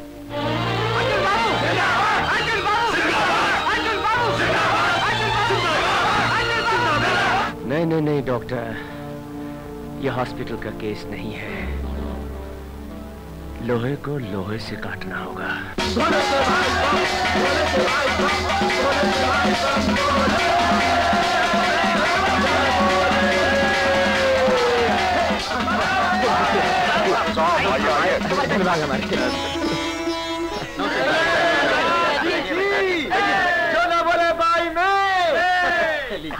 मैं चाय पीऊँगी। चाय? हाँ, चाय चाय चाय। हाँ। ठंडा क्या है? भोलेनाथ का प्रसाद। हाँ, ठंडा ही ठंडा ही है ना? हाँ ठंडा ही। है वो तो नहीं है? हाँ, ना, ना, ना, ठंडा ही। है। हाँ? हाँ। हाँ.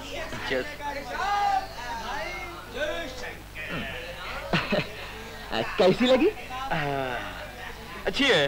हाँ हाँ, अच्छा है अच्छा है मेरी अच्छा। तरफ़ ये लीजिए एक और। अच्छी है। अच्छी हाँ, है ये ये ये ये ठंडा ही। दद्दा की तरफ़ से हाँ।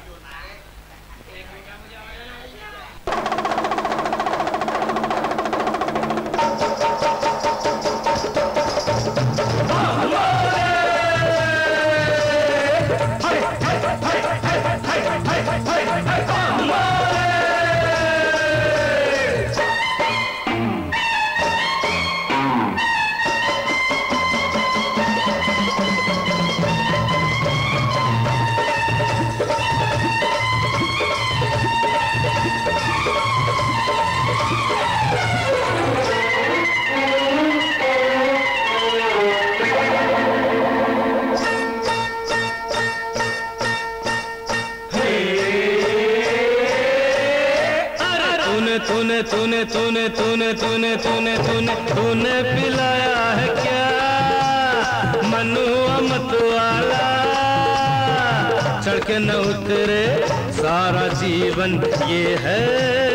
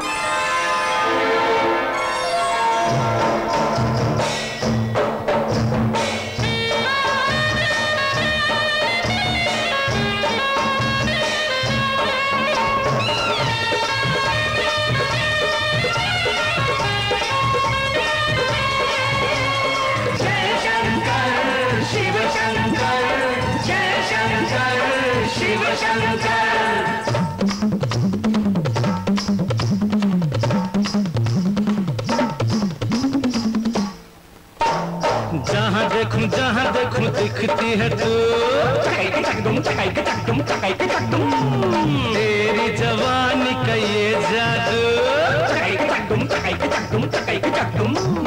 जहाँ देखूँ जहाँ देखूँ दिखती है तू। तेरी जवानी का ये जादू।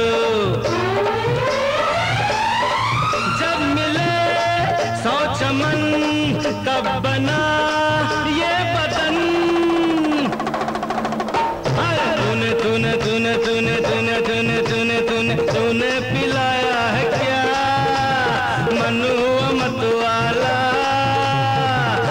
न उतरे सारा जीवन ये है। प्यार का नशा।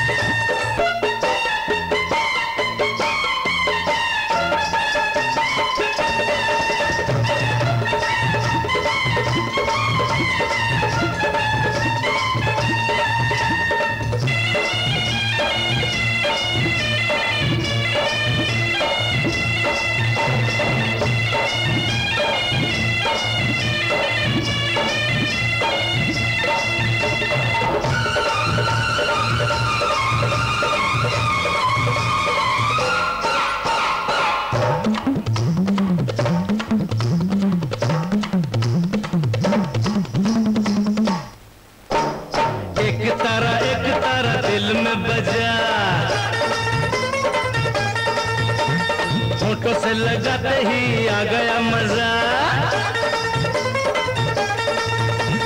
एक तारा एक तारा दिल में बजा। फ़ोटो से लगाते ही आ गया मज़ा।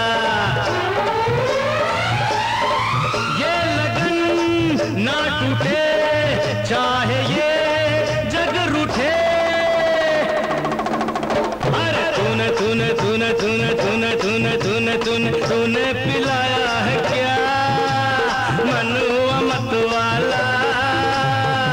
के न उतरे सारा जीवन ये है। प्यार का नशा।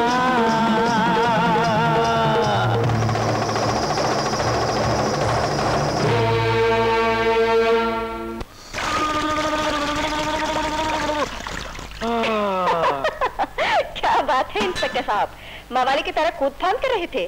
क्या बताऊँ भारती? पता नहीं उन लोगों ने क्या पिला दिया। मीठी मीठी लगी दबा के पी गया और उसके बाद ट्यू उड़ने लगा। अभी तक सर बना रहा है। डालो पानी और डालो।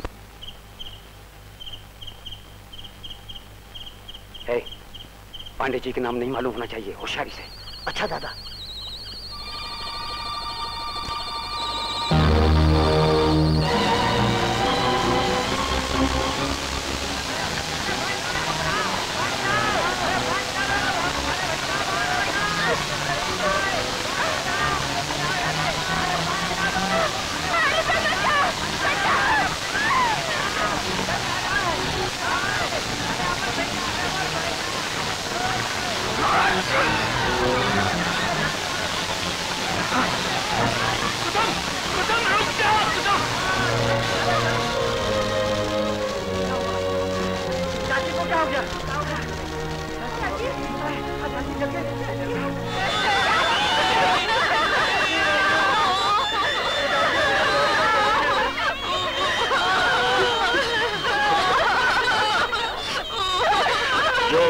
होना था सो हो गया। धीरज रखो बेटा, धीरज रखो।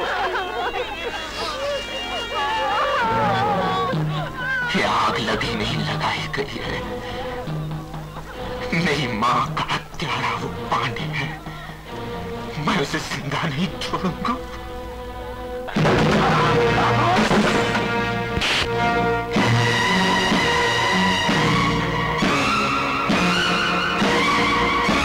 तुमने मेरी माँ को मार डाला गरीबों की झोपड़ियों में आग लगा दी और तुम यहाँ बैठ कर जश्न मना रहे हो। मैं तुम्हारे टुकड़े टुकड़े कर दूँगा। मैं तुम्हारा खून पी जाऊँगा कभी नो होश में आओ। वरना गिरफ़्तार कर लूँगा। खामोश कुत्ते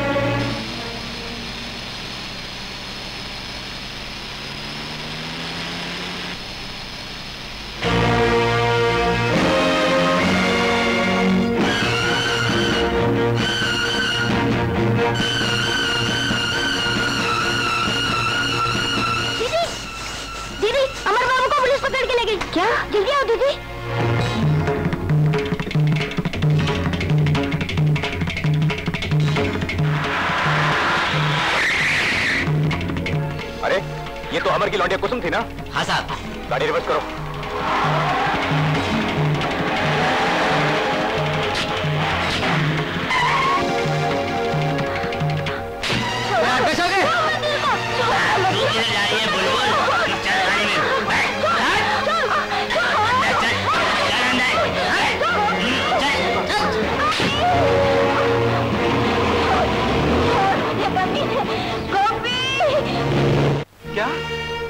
कुसुम को विद्याचरण उठा कर ले गया? मेरी बेटी को बचा लो सब।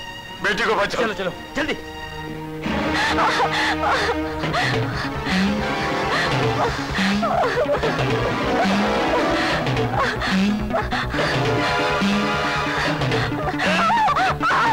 छोड़ना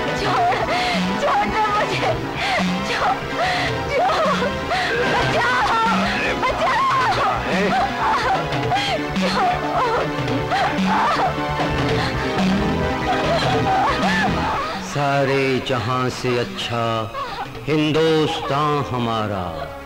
हे राम हे राम।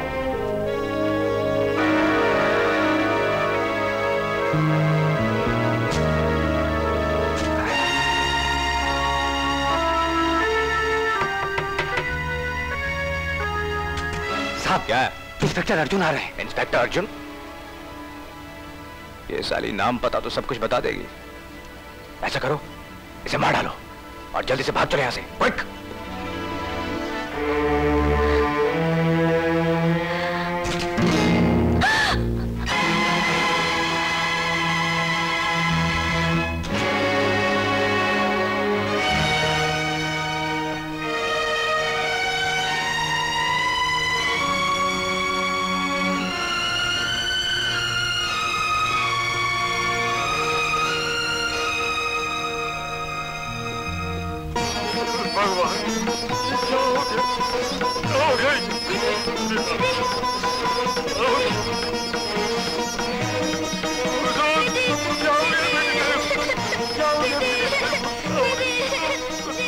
तुम लोग ये ठहरो मैं डॉक्टर को ले गया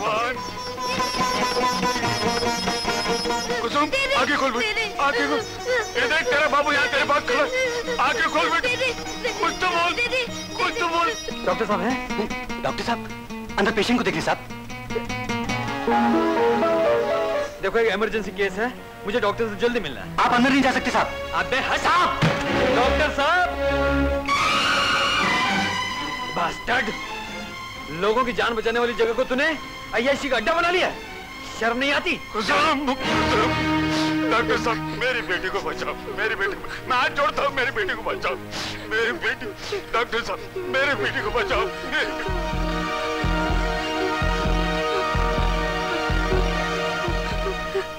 आई एम सॉरी ये मर चुकी है।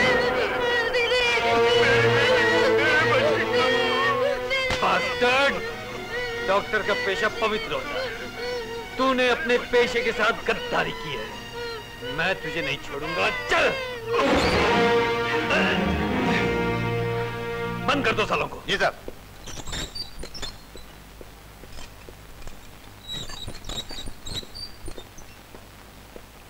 चलो अमर मैंने तुम्हारी जमानत दे दी है। Thank you it's all right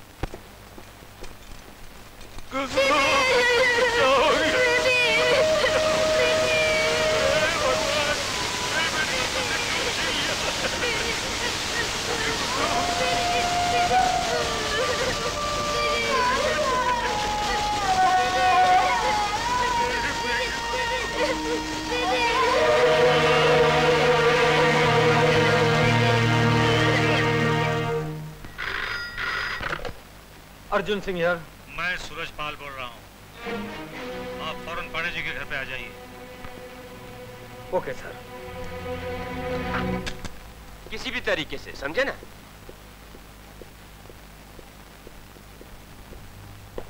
Good morning sir good morning आपने मुझे बुलाया हाँ?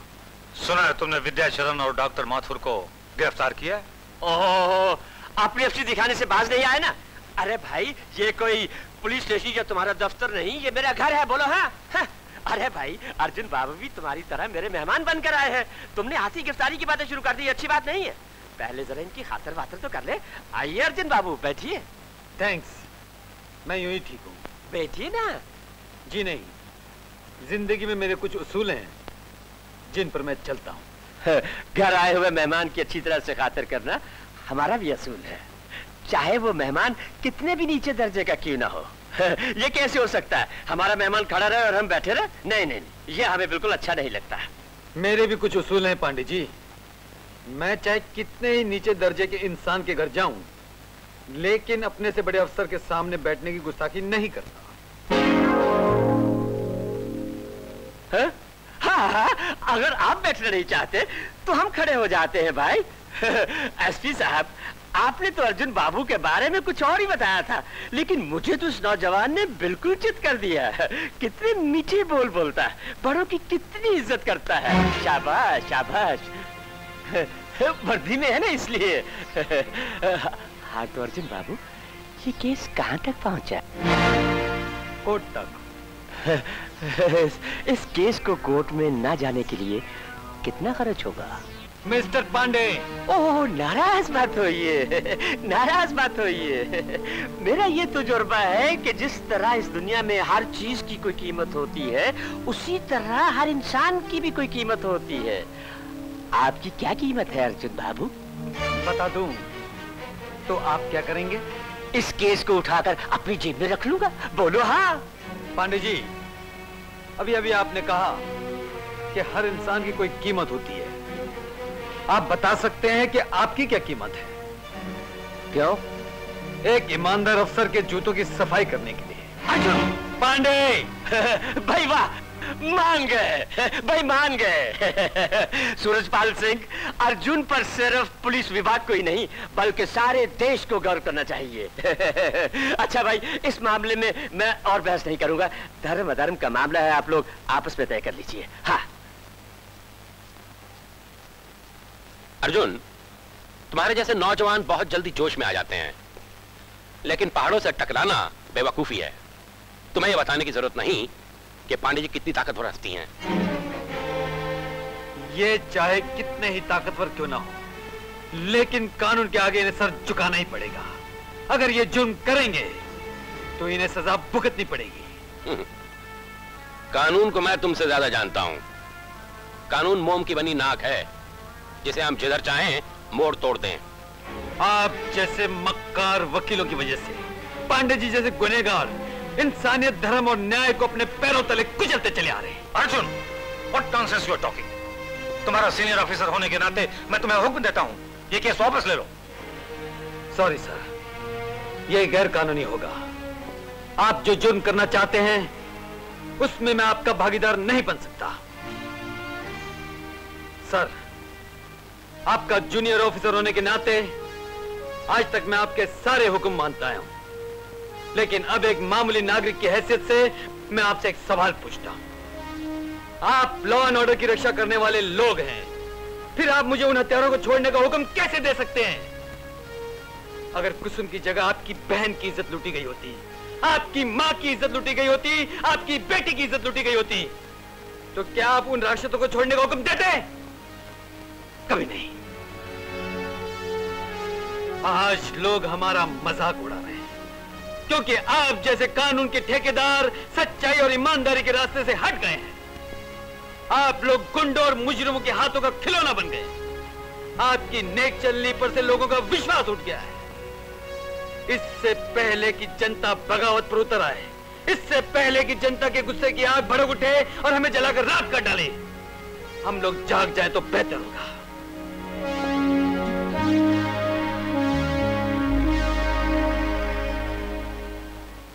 अरे क्यों भाई? शाम क्यों सू गया तुम लोगों को हैं? बहुती क्यों बंद हो गई? अरे तुम लोगों की अफसरियों डिग्रियाँ किसी काम की नहीं बिल्कुल बेकार है, हैं? अब तो मुझे ही अपने हथकंडे दिखाने होंगे। हाँ।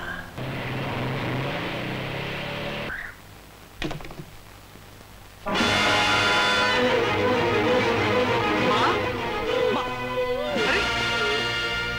माँ? क्या हुआ माँ? कुछ गुंडों ने बेटा मुझे बाँध दिया और भारती को उठा के ले गए। जल्दी का बेटा भारती को बचा शराब तेरे जैसे जलील को ज़िंदा नहीं रहना चाहिए। हिम्मत है तो मुझे छोड़ कर देख मैं तुझे जान से मार डालूँगी। गुस्से में तो तू और भी ज़्यादा खूबसूरत लगती है। जी चाहता है तेरे साथ एक बार और संभोग करूँ। अच्छा अच्छा छोड़ देता हूँ। देखा, कितना बड़ा दिल है हमारा। कसाई की चोरी भी तुझसे नफरत करेगी। औरत के आँसू और गरीबों के आहें दोनों मिलकर। एक दिन तेरे कलेजों को छेद डालेंगे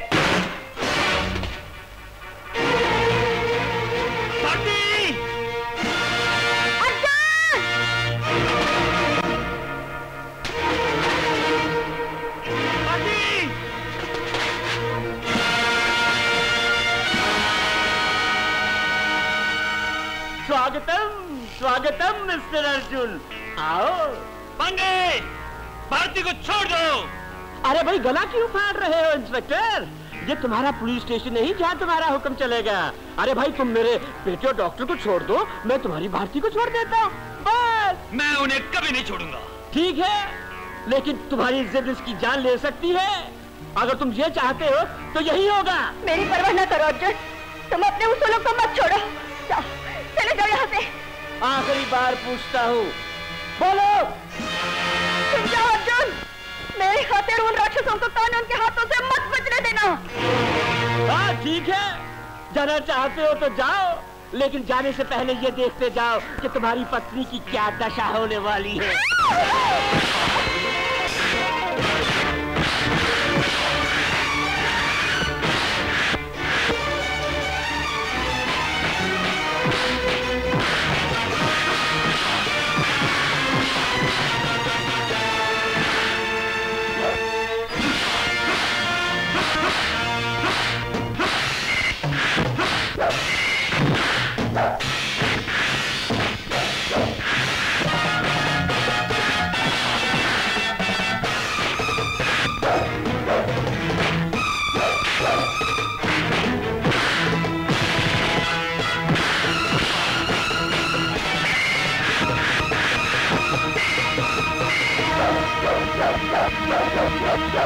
अर्जुन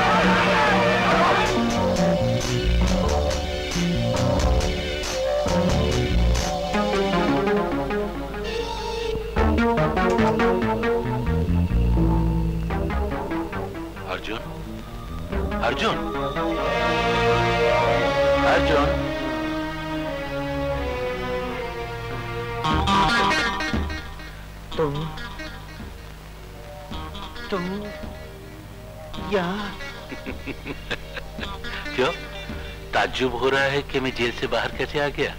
हाँ? तुम पुलिस वालों को सिर्फ़ गिरफ़्तार करना और जेल में ठूसना आता है। लेकिन जेल से छूटना और सजा से बचना हमें भी आता है, अर्जुन। और हाँ एक खुशी की बात बताना तो मैं तुम्हें भूल ही गया। अब तुम्हारा डॉक्टर मैं हूँ।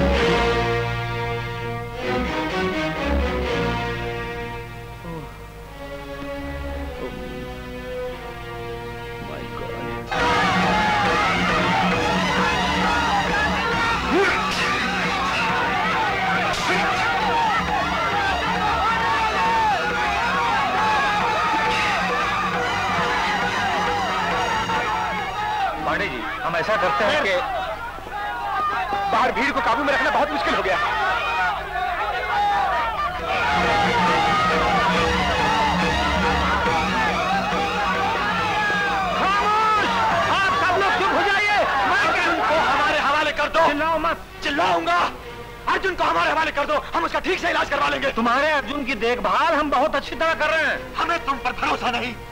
तुम पांडे के पिट्ठू हो उसके चमचे हो। ये सब के सब एक ही थाली के चट्टे बट्टे हैं।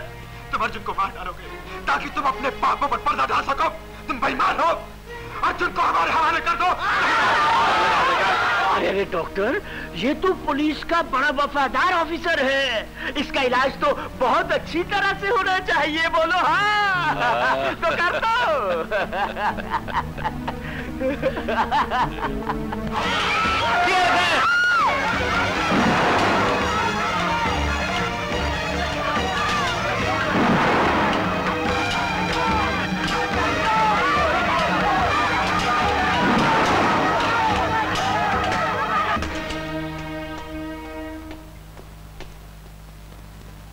यहाँ क्या कर रहे हो? बाहर इतना दंगा फसाद हो रहा है? जाकर लाठी चार्ज करो। नहीं साहब, मुझसे ये उल्टा सीधा काम नहीं होगा। क्या? हाँ साहब, अपना पेट भरने के लिए मैंने अब तक बेशर्मों की तरह रिश्वत ली, झूठ बोला और बहुत से गलत काम किए। लेकिन एक ईमानदार पुलिस अफसर की जान बचाने वाले लोगों को आप जानवरों की तरह पिटवा रहे हैं। ये देखकर मैं शर्म से ज़मीन में गड़ा जा रहा हूँ। बहुत हो गया साहब। अपने डिपार्टमेंट के लिए इससे बढ़कर शर्म की बात और कोई नहीं हो सकती। इस पवित्र वर्दी को अपने अपवित्र शरीर पर पहनकर मैं इसका और अपमान नहीं कर सकता। हर पल अपने आप को धोखा देते हुए। मैं ज़िंदा नहीं रह सकता साहब। मैं ज़िंदा नहीं रह सकता। नहीं रह सकता।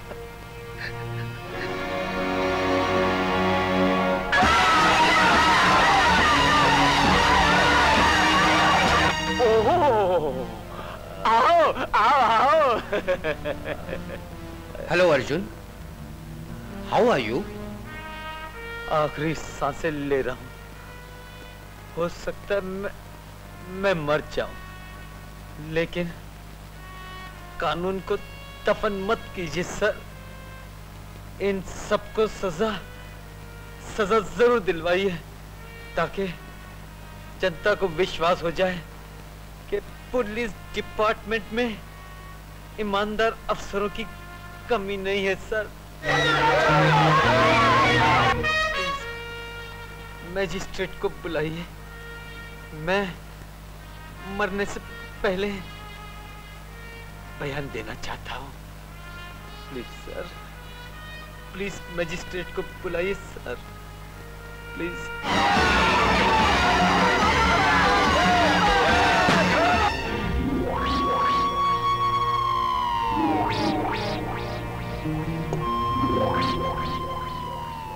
नो तुम लोग मुझे मार डालना चाहते हो।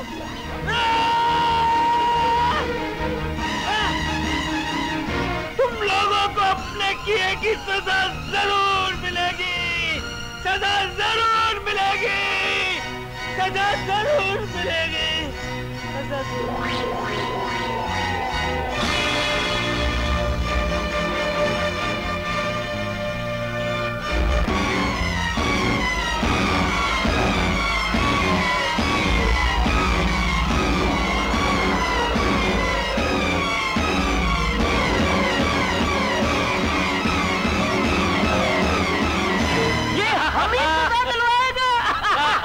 इंजेक्शन इसे दो घंटे में मार डालेगा।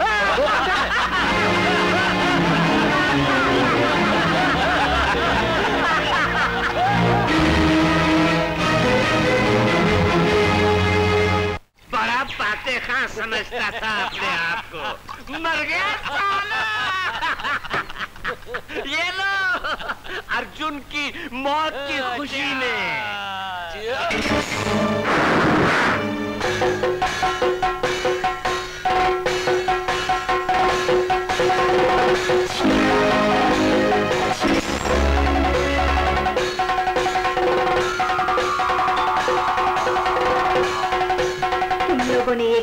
इंसान के साथ खूनी भेड़ियों जैसा सुलूक किया। लेकिन मैं ऐसा नहीं करूँगी। मैं तुम जंगली जानवरों को बचने का मौका दूँगी। भागो। जहाँ तक भाग सकते हो, भागो। मैं तुम्हारा पीछा करूँगी। तुम्हारा शिकार करूँगी। भागो कुत्तों!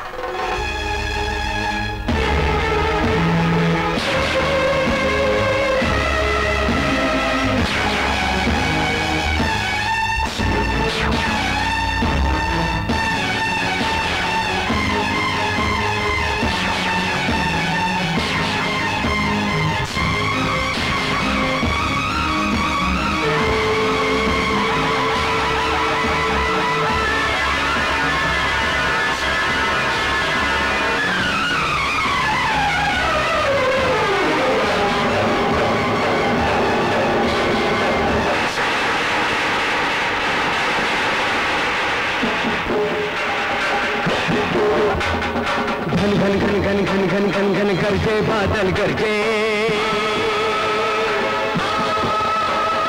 डग डग डग डग डग डग डग डग लड़के धरती लरजे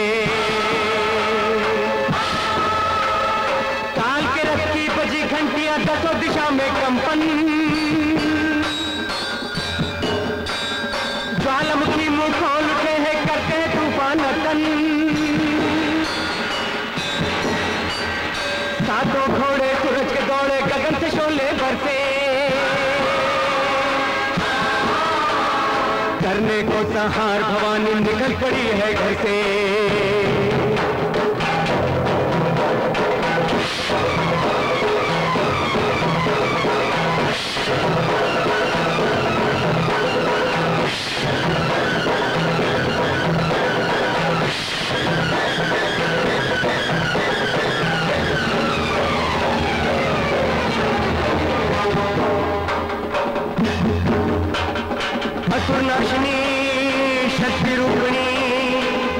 拿行李。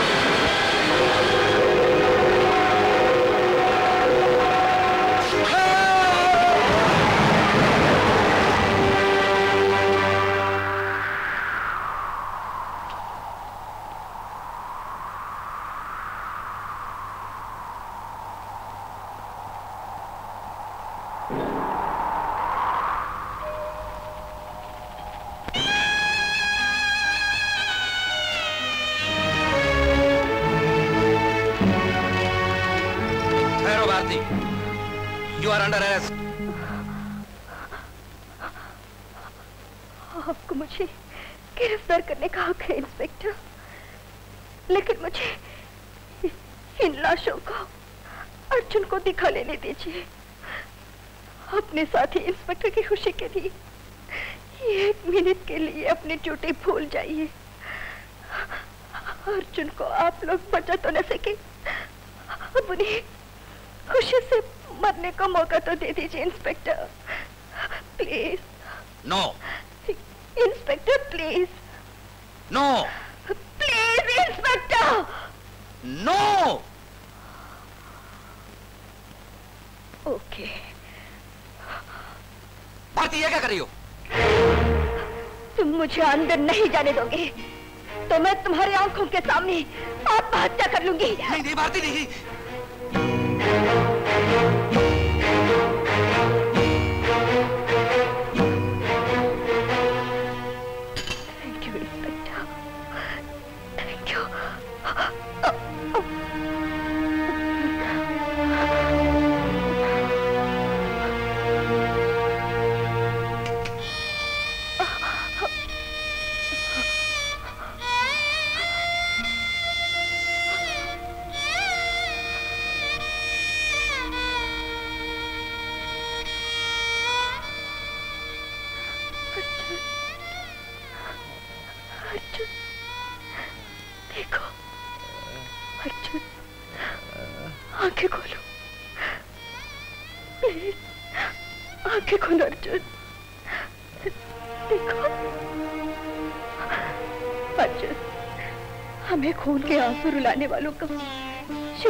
लाई हूँ।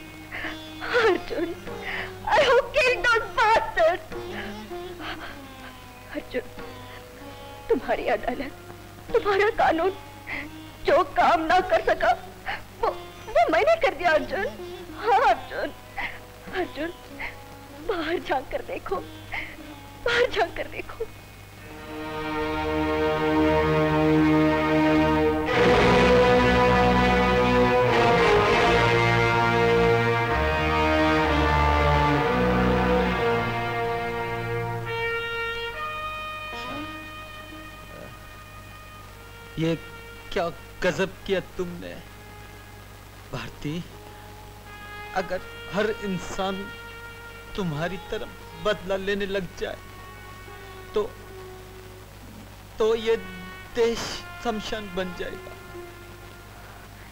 तभी एक नया और सुथरा समाज पैदा होगा। एक नई सुबह होगी। कानून जनता के हाथ का खिलौना नहीं है भारती तुम्हें उसे अपने हाथ में नहीं लेना चाहिए था। जाओ अपने आप को पुल, पुलिस के हवाले कर दो। अर्जुन? अर्जुन? अर्जुन भैया। घबराओ मत बेटी। Arjun? Arjun? Arjun? Sir sir sir. मुझे सब मालूम हो गया है। तुम फ़िक्र मत करो। मैं आ गया हूँ ना, तुम बिल्कुल ठीक हो जाओगे। डॉक्टर, अर्जुन को जल्दी से बड़े अस्पताल लेकर चलो। Come on get the ambulance quick come on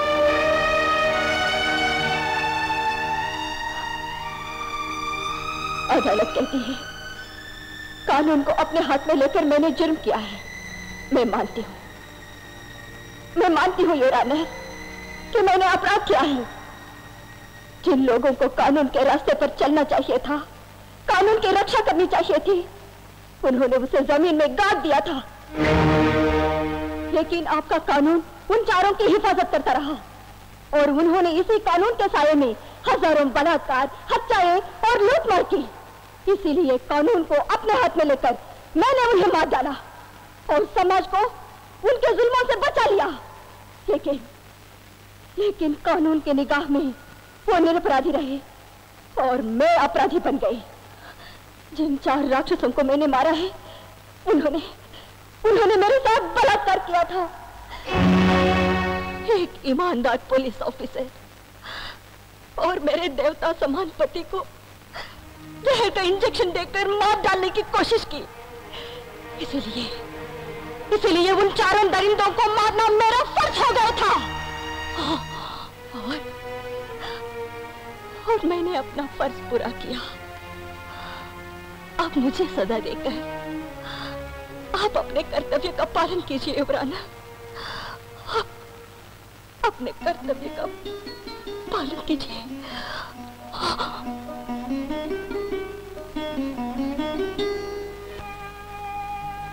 Bharti Devi ने अपने जुर्म का इकबाल किया है।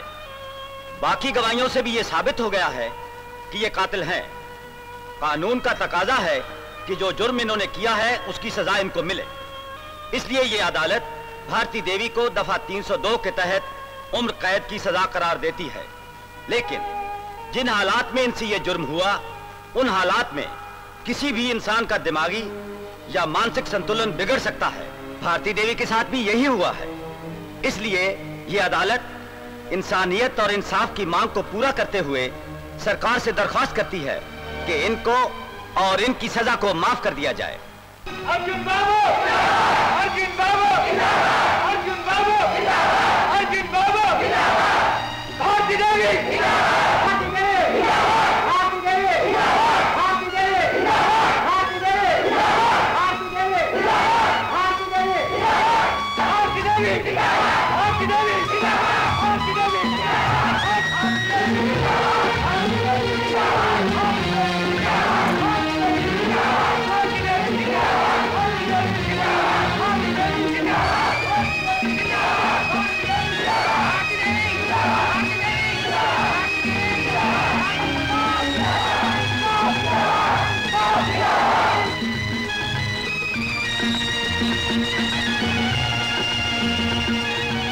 समाज विरोधी शक्तियों के विनाश के लिए, देश की उन्नति, एकता और विकास के लिए, अर्जुन जैसे ईमानदार पुलिस अफसर और भारती देवी जैसी बहादुर नारियों की आवश्यकता है।